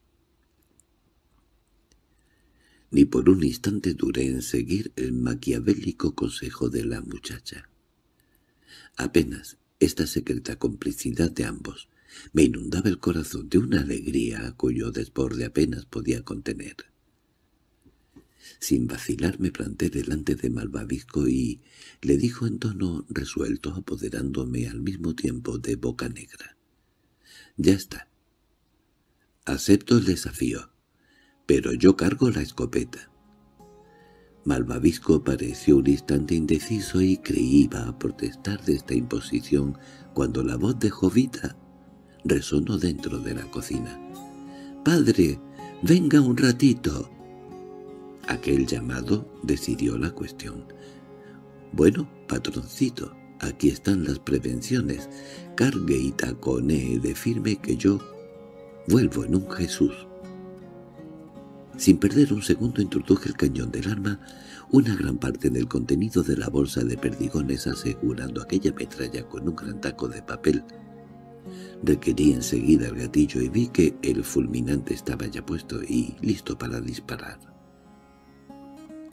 Seguro ya que Boca Negra, a menos de que se sirviesen de ella como de una maza, era tan poco temible como un mango de escoba o un azadón. Me encaminé al peral y suspendí entre sus ramas el precioso tongo plomo por el cual, antes de consentirle rozase siquiera un proyectil de miga de pan, estaba dispuesto a dejarme desollar vivo. Apenas acabada esta operación Malvavisco y tras él Jovita, salieron de la cocina, vinieron ambos a mi encuentro. Mientras el padre colgaba del manzano el grasiento cucho, la hija me dijo, clavando en los míos sus risueños ojos, que me turbaban sin saber por qué. No malicia ni jota. Es tan lerdo el pobrecito. No le echo pizca de pólvora, ¿verdad? Ay, siempre tengo miedo. ¿No dicen que el malo carga las armas? Por Dios, no vaya a tirar muy fuerte el gatillo. Jovita, aunque no tirase con Roldana, le aseguro que... Malvavisco interrumpió el coloquio con un gangoso bozarrón. —Patroncito, ya están los blancos. ¿Quién tira primero? Jovita me apuntó en voz baja. —Usted, don Serafincito, pero de aquí, del corredor. Esta última frase me hizo sonreír. Pobre chica, creía de buena fe que el diablo cargaba las escopetas, y para demostrarle lo vana que era para mí aquella aprehensión respondía Malvavisco. Yo seré primero, pero midamos veinte pasos. Fíjese bien, patrón, a veinte trancos no va a quedar ni la hincha del carro de su merced. —No importa, hombre, trae acá la escopeta —le respondí. Medida la distancia con gran prosopella, mirando de reojo a Jovita que con las manos bajo el delantal sonreía a mi lado muy serena, me eché la escopeta a la cara, apunté y disparé. Como estaba previsto, Boca Negra no dio fuego. Con gran extrañeza de mi parte Malvavisco se limitó a decir sonriendo estúpidamente. «Se le chingó, patrón, ahora me toca a mí» y apoderándose de la escopeta alzó el gatillo y reemplazó el inútil fulminante por otro que sacó del bolsillo del pantalón. Al apoyar la culata en el hombro, Jovita lanzó un chillido y escapó con las manos en las orejas.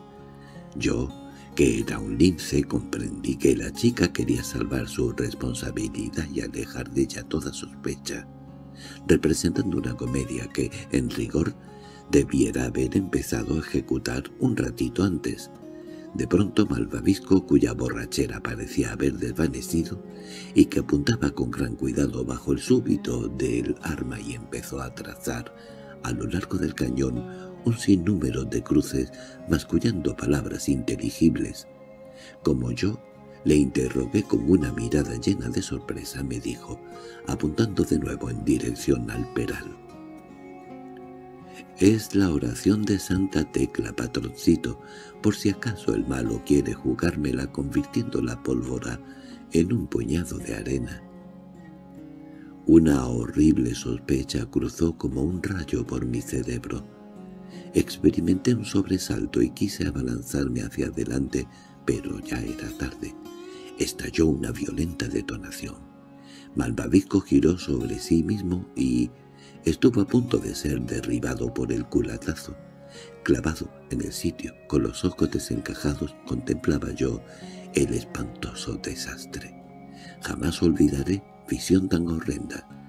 En medio de un torbellino de hojas y de partículas de corteza triturada, flotaba una especie de plumón finísimo, algo semejante a lo que se desprende de un gato que muda el pelo cuando se le sacude la piel. En el centro de aquel vórtice, prendida de una rama, se agitaba con lúgubre vaivén una orla de luto. Era la cinta, único rastro de aquel preciosísimo artefacto destinado a coronar la gentil testa de mi tía, vestida de amazona. Trémulo y convulso comprendí de un golpe la arteta y cobarde maquinación de que era víctima. A la carga de la escopeta efectuada de antemano por aquellos pérfidos traidores, había agregado yo inocente de mí media libra de perdigones. Ignorando además que el primer fulminante estuviese inutilizado. Todo esto lo vi claro, clarísimo, y ciego de rabia apreté los puños y me lancé sobre Malvavisco. Mas, de súbito, me zumbaron los oídos. Faltó el suelo bajo mis pies y hubiera caído en tierra si por un enérgico impulso de voluntad no hubiese vencido aquel pasajero desfallecimiento.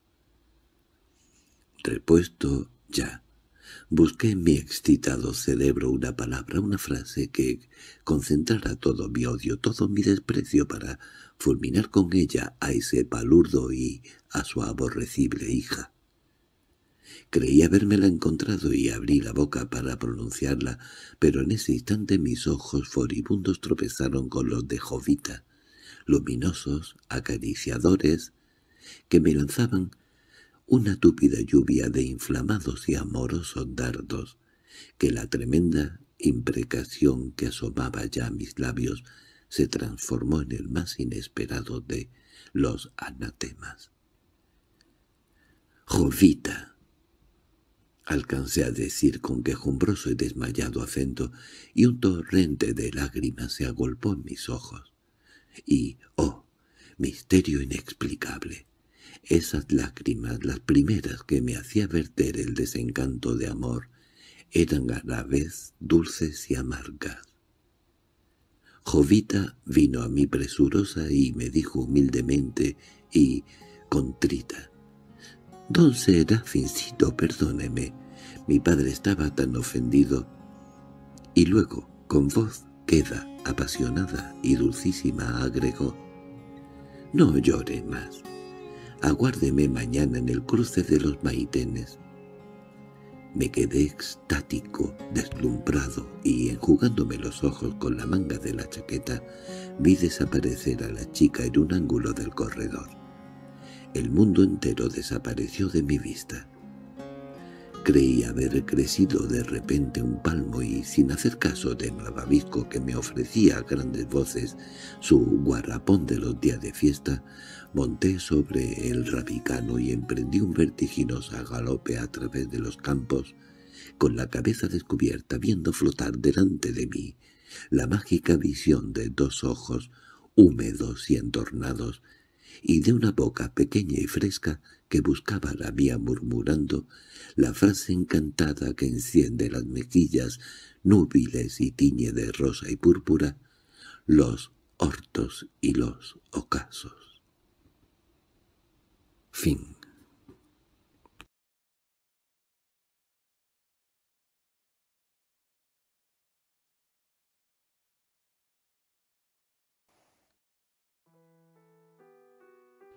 El registro, un cuento de Baldomero Lillo. La mañana es fría, nebulosa. Una fina llovizna empapa los achaparrados matorrales de viejos boldos y litres raquíticos. La abuela, con la falda remangada y los pies descalzos, Camina toda prisa por el angosto sendero, evitando en lo posible el roce de las ramas de las cuales escurren gruesos coterones que horadan el suelo blando y esponjoso del atajo. Aquella senda es un camino poco frecuentado y solitario que, desviándose de la negra carretera, conduce a una pequeña población distante legua y media del poderoso establecimiento carbonífero cuyas construcciones aparecen de cuando en cuando por entre los claros del boscaje allá en la lejanía borrosa del horizonte. A pesar del frío y de la lluvia, el rostro de la viejecilla está empapado en sudor y su respiración es entrecortada y jadeante. En la diestra, apoyado contra el pecho, Lleva un paquete cuyo volumen trata de disimular entre los pliegues del raído pañolón de lana. La abuela es de corta estatura, delgada, seca, su rostro lleno de arrugas, con ojos oscuros y tristes, tiene una expresión humilde, resignada.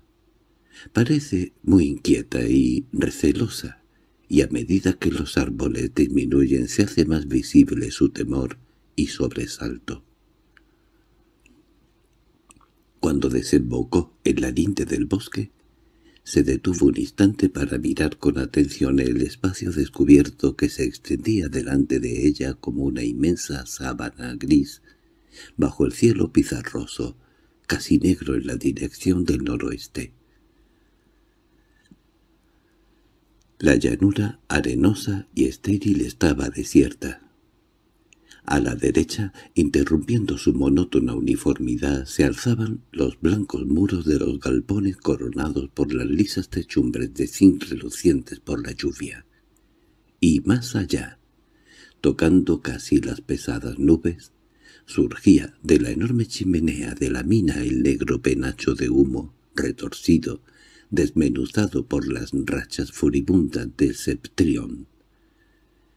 La anciana, siempre medrosa e inquieta, después de un instante de observación pasó su delgado cuerpo por entre los alambres de la cerca que limitaba por ese lado los terrenos del establecimiento y se encaminó en línea recta hacia las habitaciones.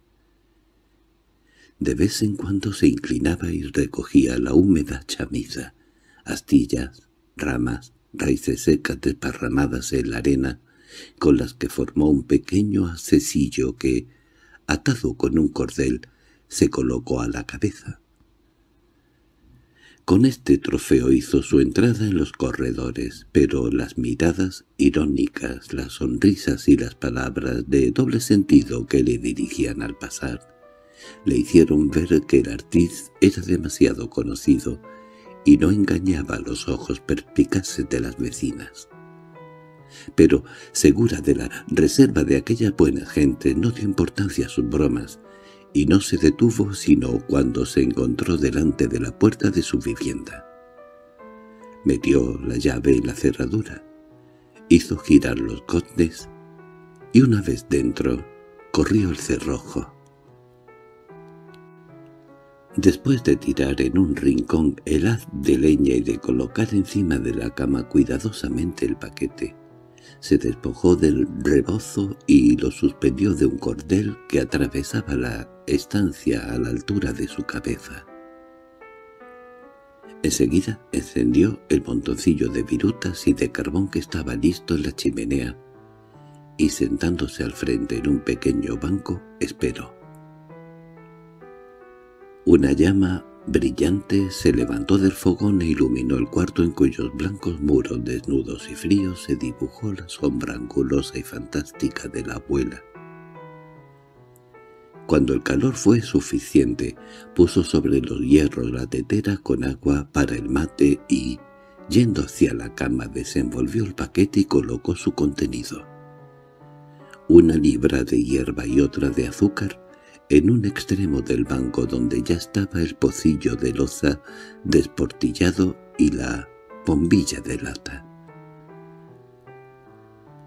Mientras el fuego chisporrotea, la anciana acaricia con sus secos dedos la hierba fina y lustrosa de un hermoso color verde, deleitándose de antemano con la exquisita bebida que su gaznate de golosa está impaciente de saborear.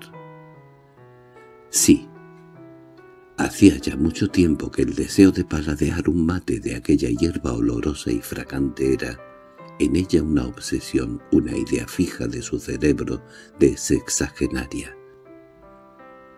Pero cuán difícil le había sido hasta entonces preocuparse la satisfacción de aquel apetito, su vicio, como ella decía. Pues su nietecillo, José, portero de la mina ganaba tan poco, treinta centavos apenas, lo indispensable para no morirse de hambre, y era el chico su único trabajador.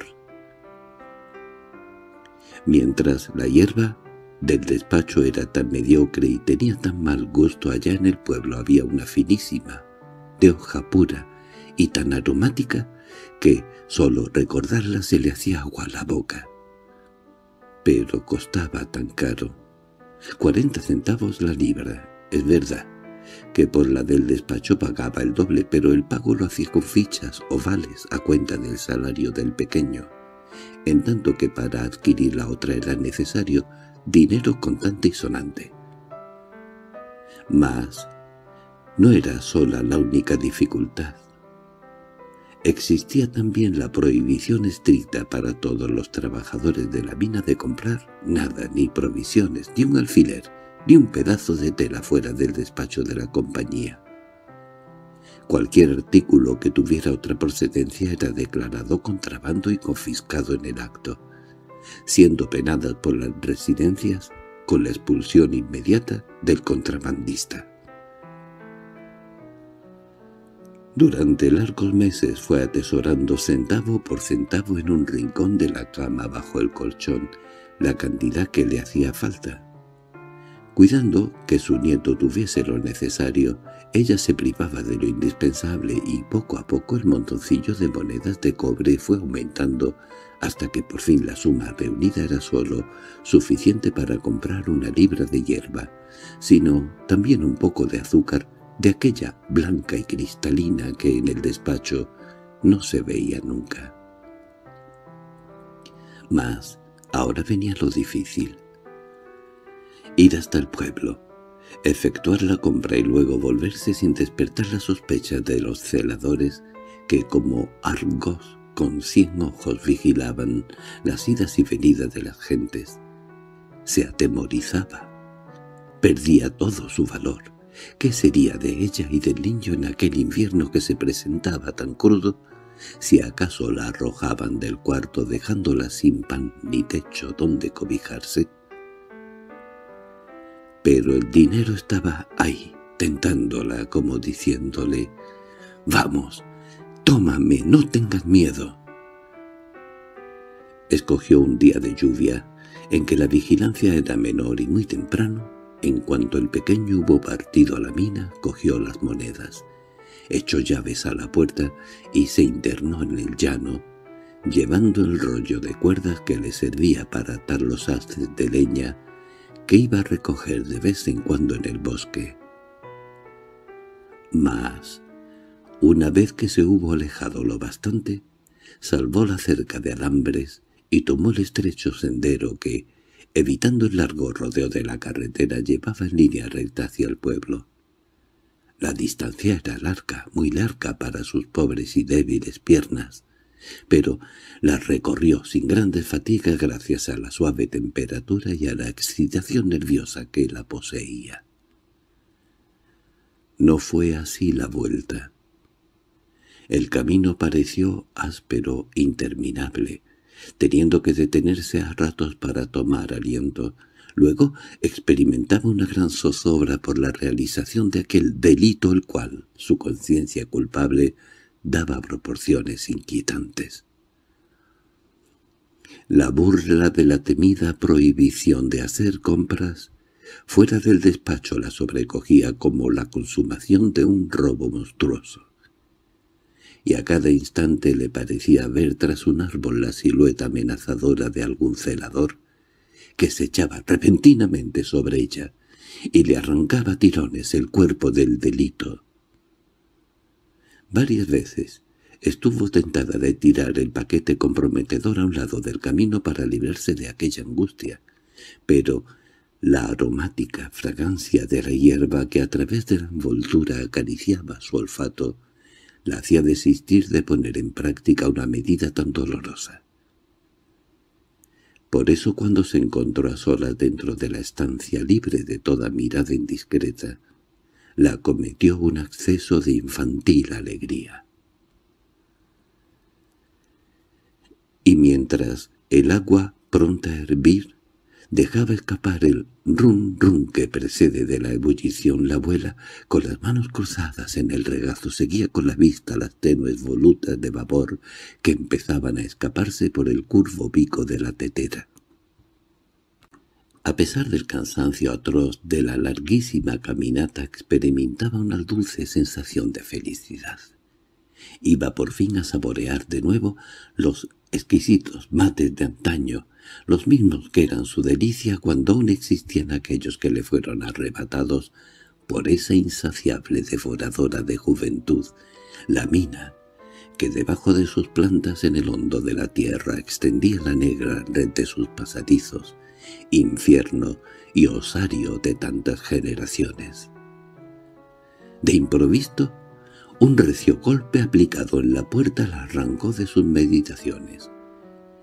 Un terrible miedo se apoderó de ella y maquinalmente, sin darse cuenta, casi de lo que hacía, tomó el paquete y lo ocultó debajo del banco.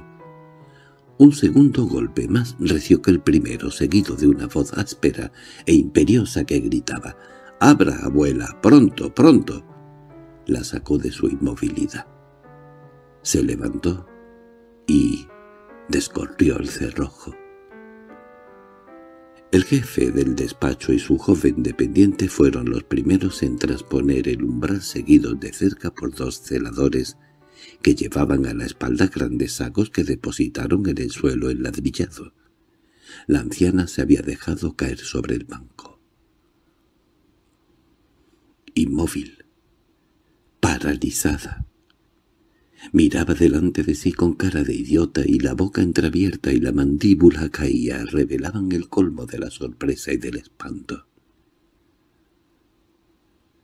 Apreciale que mientras su cuerpo se diluía se achicaba hasta convertirse en algo pequeñísimo e impalpable, la imponente figura de aquel señor de barba rubia y retorcidos mostachos envueltos en su lujoso abrigo tomaba proporciones colosales llenaba el cuarto impidiendo toda tentativa para escorrirse, ocultarse.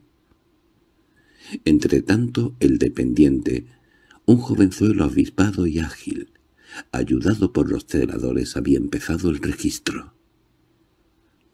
Después de tirar a un lado los cobertores de la cama, dar vueltas al colchón y papar la paja por sobre la tela, abrieron el pequeño baúl, y uno por uno fueron arrojando al centro del cuarto los harapos que contenían haciendo equívocos comentarios sobre aquellas prendas tan rotas y deshilachadas que no había por dónde cogerlas.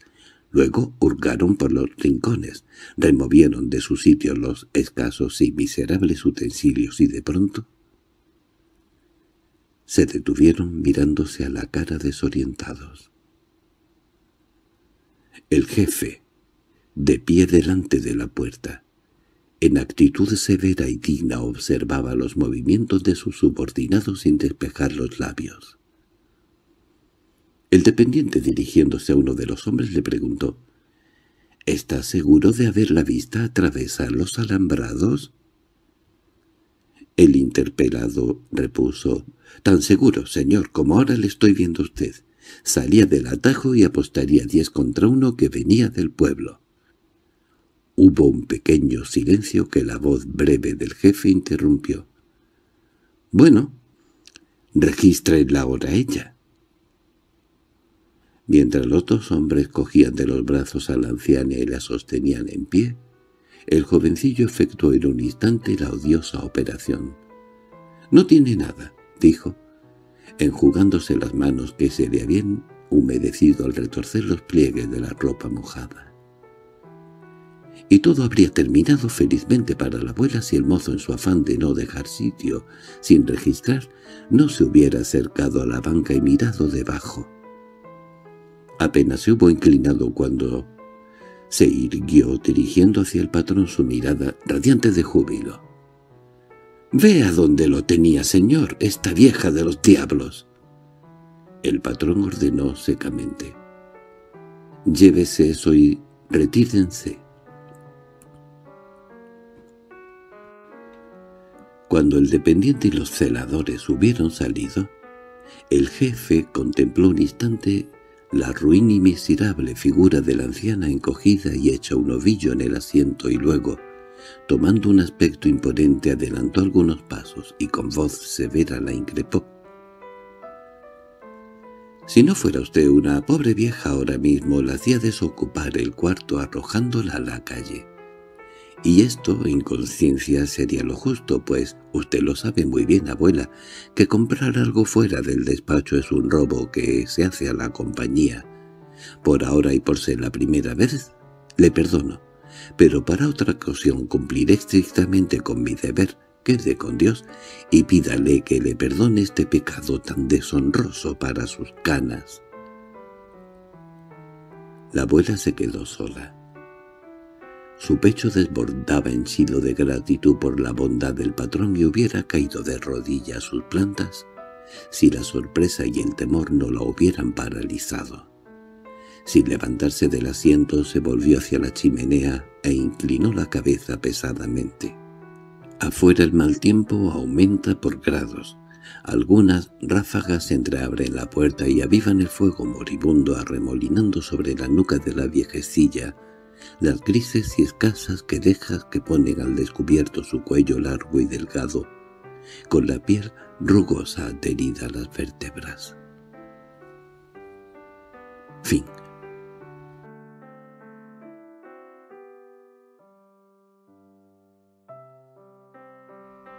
La trampa.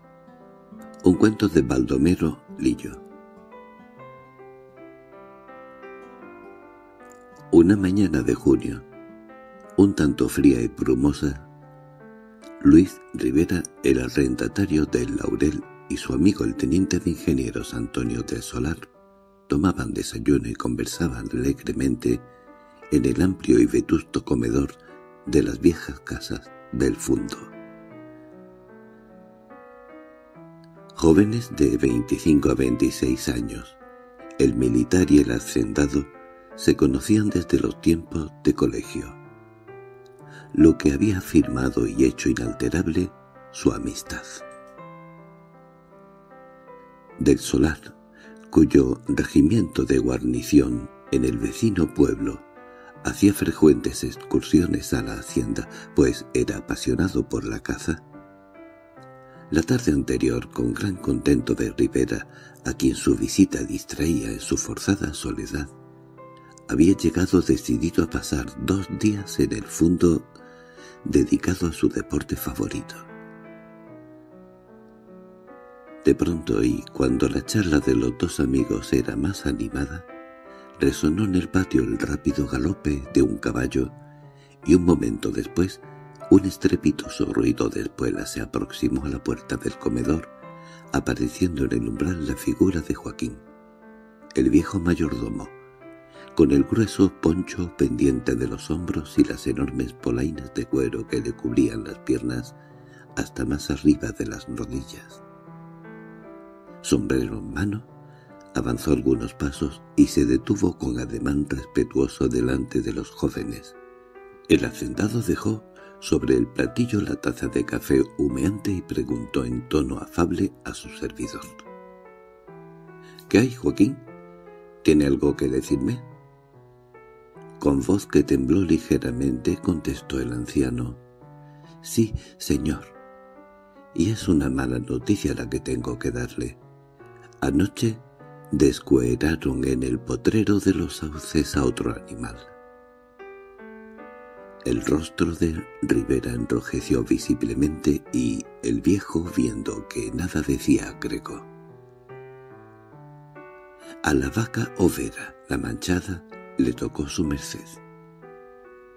El mozo golpeó con el puño en la mesa y se puso de pie violentamente en tanto exclamaba lleno de cólera. —¿Cómo? —¿La manchada? —dices. —¿Y por qué estaba esa vaca en los sauces? ¿Quién la puso ahí? —Es que la sacaron del potrillero, su merced, y la llevaron para matarla allá. El joven se dejó caer sobre la silla, miró a su amigo y dijo para excusar su arrebato. «Es una vaca fina, Antonio. La compré en la feria hace poco, en mil pesos». Luego, volviéndose al campesino, interrogó, «¿Y cómo la sacaron del potrerillo?» Corrieron los tranqueros en el rincón que da para los sauces, su merced. ¿Y Agustín no sintió nada? ¿No ladraron los perros? Dice que no, señor. Bueno, como ya sabes, lo que hay que hacer, puedes retirarte.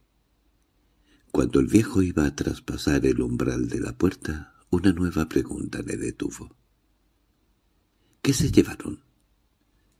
El cuero, su merced, un pedazo de lomo y la lengua. Lo de siempre, —dijo Rivera mirando a su amigo, y después de una pausa agregó. —Estas pérdidas de animales me desalientan, Antonio, Créeme que muchas veces he tenido el pensamiento de rescindir el contrato del arriendo del fundo y acabar estos campos malditos plagados de cuatreros. El año pasado me descueraron ocho animales, y en los cinco meses de este, con el de anoche, se enteran cuatro. Del solar que no había despegado los labios dijo entonces, fijando el rostro tostado y enérgico de su amigo sus ojos azules, serenos y penetrantes. —¿Y tú qué has hecho para defenderte de esa plaga? —Todo lo que he podido. He organizado rondas nocturnas por los potreros y yo mismo tomo parte en ellas, las más de las veces. He ofrecido doscientos pesos por una denuncia. Tuve aquí durante dos semanas disfrazado de huaso a un agente de la secreta y, total, nada, nada he podido descubrir por más que me he defanado los sesos ideando planes para sorprender a esos bandidos. ¿Y la policía? ¿Qué ha hecho la policía? Hombre, te diré que al principio cuando me mataban un animal lo primero que hacía era montar a caballo y encaminarme al pueblo a denunciar el hecho a la policía y no solo hablaba con el comandante, sino también con el juez y el gobernador. Todos ellos me daban seguridades de que muy pronto caerían los culpables en poder de la justicia. Y con estas promesas regresaba al fondo, confiado en que la captura de la banda no tardaría en producirse. Pero cuando vi que el tiempo pasaba y los descueradores, a pesar de nuestra vigilancia, repetían sus atentados, acabé por perder la confianza en la acción policial. Ahora me limito a enviar una cuarta dando cuenta del suceso y señalando el color y las marcas de la piel de la res sacrificada. Bueno, tenemos entonces descartada la policía. Pero quedan los propietarios de los fundos vecinos, pues entiendo que también a ellos les habrá tocado su parte porque los rodeadores no te habrían elegido a ti como única víctima. Claro que no. También sufren del mismo mal.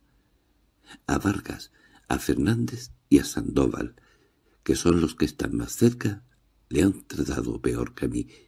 No hay semana que no se le descueren un animal o dos. ¿Y ellos qué hacen? ¿Qué medidas toman?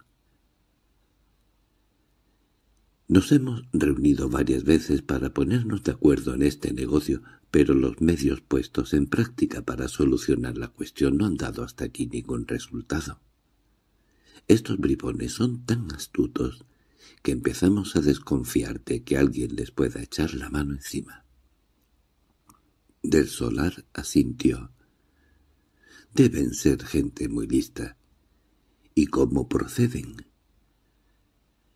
De la manera más sencilla, entran a un potrero, enlazan una res al tronco de un árbol o un poste de la cerca de tranqueros. Enseguida con un cuchillo puntiagudo le dan un golpe en la cerviz. Además la víctima, herida en la médula, cae fulminada, le arrancan la piel, cortan un pedazo de carne escogida y le marcan con el botín. El teniente protestó indignado. —¡Qué bárbaros! entonces lo descueran vivo, porque la lesión de la médula, que inmoviliza al animal, no lo mata inmediatamente.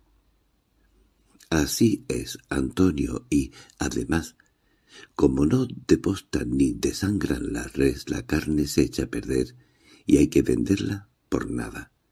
Por el cuero les darán veinte o treinta pesos y, por esa miseria inutilizan sin provecho para nadie veinte o treinta veces ese valor. Si se llevasen los animales vivos, no sentiríamos tanto su pérdida. Pienso lo mismo, Luis. Es doblemente odioso el proceder de esa canalla. Pero, ¿emplean luz, alguna linterna? ¿Cómo se las arreglan? No, no emplean luz, les basta el tacto. El resplandor de un fósforo o la brasa de un cigarro podría delatarlos. Entonces, el operador debe ser un matarife de profesión, porque el sitio donde debe herir el cuchillo hasta entre la primera y segunda vértebra detrás del nacimiento de los cuernos. He visto muchas veces en el matadero hacer esta operación, y me admira que solo con la ayuda del tacto pueda alguien realizarla en la oscuridad. O tiene ojos de gato el sujeto, o es un diestro excepcional en el oficio. El hacendado contestó. Por muy obscura que esté la noche siempre se ve algo a corta distancia. Además, esta gente está acostumbrada a trabajar en la sombra. Lo que no deja lugar a dudas es que el individuo en cuestión tiene una mano muy práctica, porque la desviación de uno o dos centímetros del sitio preciso haría fracasar la empresa, pues el animal se revolvería furioso y sus bramidos pondrían en alarma toda la hacienda. Y como ellos laboran en el mayor silencio, apelarían en el acto a la fuga, ¿no es verdad? Así lo harían, indudablemente. Otra cosa se me ocurre, Luis. Esos bellacos deben de tener espías dentro de los fundos. Alguien que les da indicaciones de los animales del sitio en que se hallan, de las noches en que no hay rondas, etc. Creo lo mismo, Antonio, y, por mi parte, he ido eliminando toda la gente sospechosa que había en el fondo, Igual cosa han hecho mis vecinos. Actualmente tengo un solo individuo que me inspira cierta desconfianza, pero vigilo y lo hago vigilar, y en cuanto haya indicios suficientes en su contra lo lanzo fuera también, como a los otros. Me parecen muy bien esas medidas precautorias, Lucho, pero estos huasos son tan ladinos, tan desconfiados, que no es fácil pillarlos en un renuncio. Es verdad que son astutos, pero a mí, que hace años que estoy en contacto diario con ellos, no me engañan. Son almas primitivas que cualquiera con mediano espíritu de observación puede penetrarlas hasta el fondo. Del solar miró sonriendo a su amigo. Poco a poco, dijo. No debe ser tanta esa penetración ni esas almas primitivas tan inocentes cuando se burlan de ti y de tus amigos, es un asunto que estoy seguro conocen en sus menores detalles. Rivera sonrió, y a su vez contestó, «Tienes razón. Cuando se trata de apropiarse de lo ajeno, esos rústicos despliegan una inteligencia superior, ni al mismo demonio se le ocurrirían las artimañas que ellos emplean para robar y ocultar sus latrocinios. Durante un cuarto de hora ambos jóvenes prolongaron la sobremesa conversando sobre el mismo tema. Del solar, que parecía vivamente interesado en aquel asunto, después de oír con atención a su amigo, se levantó, diciendo «Se me ha ocurrido una idea, pero tengo que darle muchas vueltas todavía. Cuando la haya rumiado lo suficiente te la comunico. Ahora voy a darle una batida a las torcazas allá, en los potreros. Precisamente, es el de los sauces encontrarás muchas. Todas las mañanas se ven allí algunas bandadas. Yo, agregó Rivera, no, no te acompaño porque tengo que repasar algunas cuentas y escribir la cartita de marras al comandante de policía. A la hora de mediodía se hallaban nuevamente el hacendado y su huésped reunidos en el comedor. Mientras almorzaban y después del solar hubo relatado una o dos de sus proezas cinegéticas, la conversación recayó sobre el suceso ocurrido en la noche anterior. El teniente dijo a su amigo que en los sauces había visto los restos de la vaca y observado cuidadosamente la herida penetrante de la cerviz quedando convencido de que su idea podía llevarse a la práctica, pero tenía el inconveniente de ser demasiado cara, pues habría que sacrificar un animal. No solo uno, dos o tres sacrificaría con gusto si pudiera echar el guante a ese canalla, exclamó Rivera, con la mirada llameante y el rostro encendido por la ira. Entonces, negocio hecho declaró del solar. Pero vas a permitirme que guarde todavía el secreto. Hay ciertos detalles que es preciso estudiar con detenimiento. Esta tarde regreso al pueblo y cuando todo esté listo vendré a comunicarte la solución del problema. Supongo que la hazaña de anoche no la repetirán tan pronto y pasará algún tiempo antes de que vuelvan a darle otro zarpazo. —Sí —dijo el hacendado en tono dubitativo. Tal vez tardarían en venir, aunque no es del todo seguro porque el año pasado en una misma semana me mataron dos facas.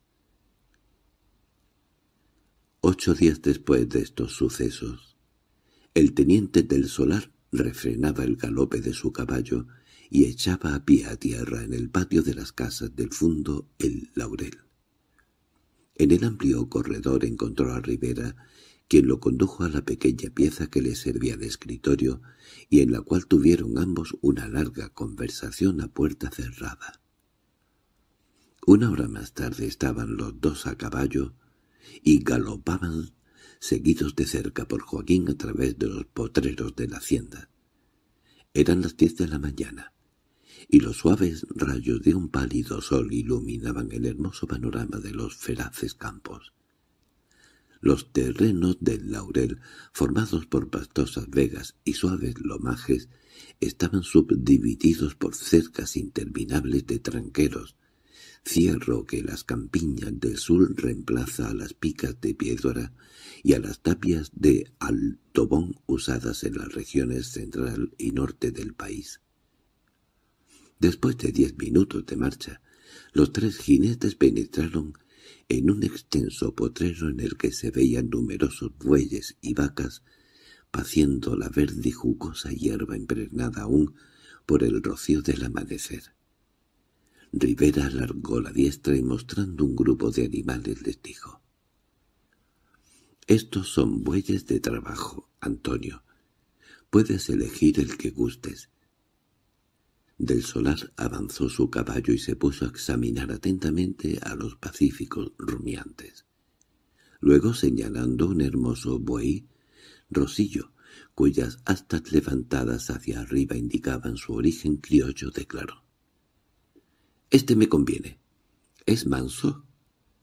Joaquín replicó vivamente. «Mansito, patrón. El cordillera es una oveja» arréalo para el potrerillo de los pidientes. El sitio elegido era un espacio de terreno de más o menos una cuadra de extensión y cerrado por gruesos tranqueros de pellín. Apenas el buey y sus conductores se encontraron dentro del potrerillo, el militar y el mayordomo echaron pie a tierra y se acercaron al animal. «Lléguese no más, patrón», decía el segundo. «Es muy manso. Mire» y acariciaba el testuz de la pacífica bestia que no hacía un movimiento para esquivar el contacto de la ruda mano del campesino. El teniente alargó la diestra y hundiendo los dedos en el espeso pelaje del cuello de la res, preguntó al labriego. —¿Es aquí donde debe herir el cuchillo, Joaquín? —Sí, su merced. Un puntazo y cerca de las astas y el animal cae redondo como una piedra del solar, introdujo la mano en el bolsillo de la casaca y extrajo un objeto de forma cilíndrica que tenía el aspecto de un trozo de coyunta de cuero sin curtir y de unos sesenta centímetros de longitud. En sus extremos asomaban dos finos alambres de cobre. Colocó aquello como una lazada en la base de los cuernos y unió los extremos retrocediendo con gran cuidado los alambres que sobresalían de ellos. Enseguida, volviendo a meter la mano al bolsillo, sacó un pequeño rollo de alambre rojo y acabó de sujetar a las astas aquella especie de anillo después de algunos ensayos para mantenerlo en cierta postura. Luego, dando un paso hacia atrás, contempló con aire satisfecho la obra y dijo a Rivera que había observado en silencio todos los detalles de la operación. —¡Qué buen cálculo, Lucho! ni un centímetro de más ni de menos, y fíjate cómo cae exactamente en el sitio preciso. Nuestro hombre, si no quiere errar el golpe, no tendrá más remedio que apartar el obstáculo, y encarándose con el mayordomo, solicitó su parecer. «Dígame, Joaquín, cuando encuentre el estorbo, ¿cómo procederán? ¿Lo desatarán o no? ¿Qué le parece?» Como trabajaban apurados su merced, no perderán tiempo en desatarlo, sino que lo cortarán con el cuchillo. —Así lo creo yo también —afirmó el teniente, y agregó tras una breve pausa—, pero ¿no le llamaría la atención? ¿No desconfiarían? El campesino lo tranquilizó. No, patrón, creerán que es un pedazo de coyunda que se le ha puesto al buey como señal.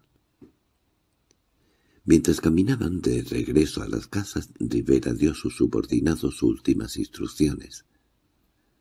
«Vas a decir a todos que el cordillera tiene la fiebre aftosa y que se le ha aislado en el potrerillo para evitar la propagación de la enfermedad. Vigilarás también con cuidado para que nadie se acerque a él». El viejo se inclinó sumiso y murmuró con respeto, «Está bien». Al caer la tarde, Levantando el morral repleto de torcasas del solar, abandonó el fundo y se despedía de su amigo con estas palabras. Está armada la trampa. Ahora paciencia y a esperar. Un domingo por la mañana, en el casino de oficiales y en presencia de varios de sus camaradas, leía del solar en voz alta una carta que acababa de recibir. El sobre tenía el timbre de la estafeta de correos del lugar que el batallón de ingenieros había dejado para trasladarse más al norte, a la ciudad donde se hallaba ahora la guarnición. De puño y letra del arrendatario de Laurel la misma decía así. «Mi querido Antonio, la trampa resultó admirable y ahora, gracias a ella, Toda la banda de descueradores está en poder de la justicia. Para que te des cuenta cabal del éxito de tu ingeniosa inventiva, paso a hacerte un breve relato de los hechos. Como lo habíamos acordado previamente, procuré que la vigilancia nocturna en el fondo fuese lo más estricta posible. Al quinto día, con el pretexto de resguardar otros sitios más peligrosos ordené que las rondas en el potrerillo de los pidenes solo se hicieran de noche por medio.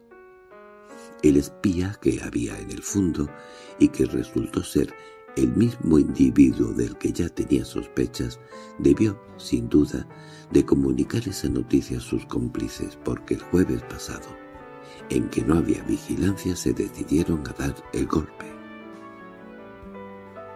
Esa noche me acosté temprano, pues las continuas vigilias me tenían abrumado y dormía profundamente cuando a las dos de la mañana me vestí apresuradamente y salí al patio, donde ya Joaquín me esperaba con los caballos listos. Apenas llegamos al potrerillo divisamos la masa del buey caída junto a los tranqueros. Nos desmontamos y encendimos las linternas de que íbamos provistos y después de echar una mirada al animal que yacía inmóvil con la cabeza destrozada, empezamos a examinar el terreno a su alrededor, descubriendo muy luego un rastro de sangre que manchaba la hierba y la orilla de cerca. Seguimos esta huella en una gran extensión hasta llegar al camino real, en donde las pisadas de varios caballos nos revelaron de que el herido y los acompañantes debían ya encontrarse bastante lejos. Volvimos sobre nuestros pasos y reanudamos nuestras pesquisas en torno del difunto Cordillera, tropezando en breve con un saco en cuyo interior había algunos rollos de cuerdas y varios cuchillos de carnicero. Acabamos de examinar este hallazgo cuando oí la voz de Joaquín que me decía «Patrón, venga a ver lo que hay aquí». Anduve algunos pasos y a la luz de la linterna pude ver descansando sobre el pasto una mano unida a un trozo de antebrazo que sangraba todavía. Aunque no tengo nada de tímido, la vista de ese humano despojo me produjo un escalofrío de repulsión y de horror Aquella mano enorme y musculosa oprimía en sus rígidos dedos la empuñadura de una daga de hoja, ancha y corta terminada en punta muy aguda.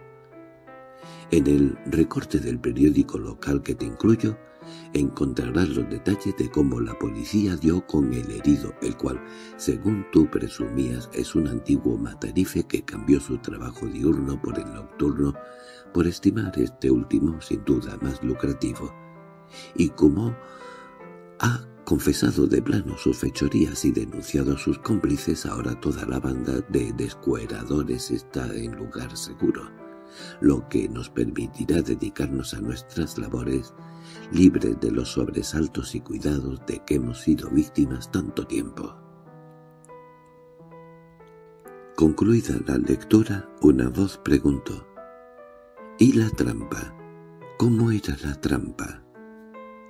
Del solar explicó, «La trampa era muy sencilla. Se componía de un tubo de caucho endurecido relleno con 200 gramos de dinamita. Para darle una apariencia inofensiva estaba forrado en piel de conejo. Los dispositivos para provocar la explosión eran dos y accionaban por medio de alambres que sobresalían en los extremos del tubo. Una ligera presión en cualquier parte de esa especie de aro, colocado a raíz de los cuernos del animal, producía el estallido de la dinamita. La misma voz se volvió a decir, aunque muy ingenioso me parece un poco salvaje el procedimiento. Del solar replicó vivamente, «Se ve, Enrique, que ignoras lo que es el cuatrerismo, esa vergonzosa y funesta plaga que azota nuestros campos. Si la conocieras como yo, tendrías otra opinión». El aludido iba a replicar, pero la llegada de dos nuevos oficiales puso fin a la incipiente polémica. Fin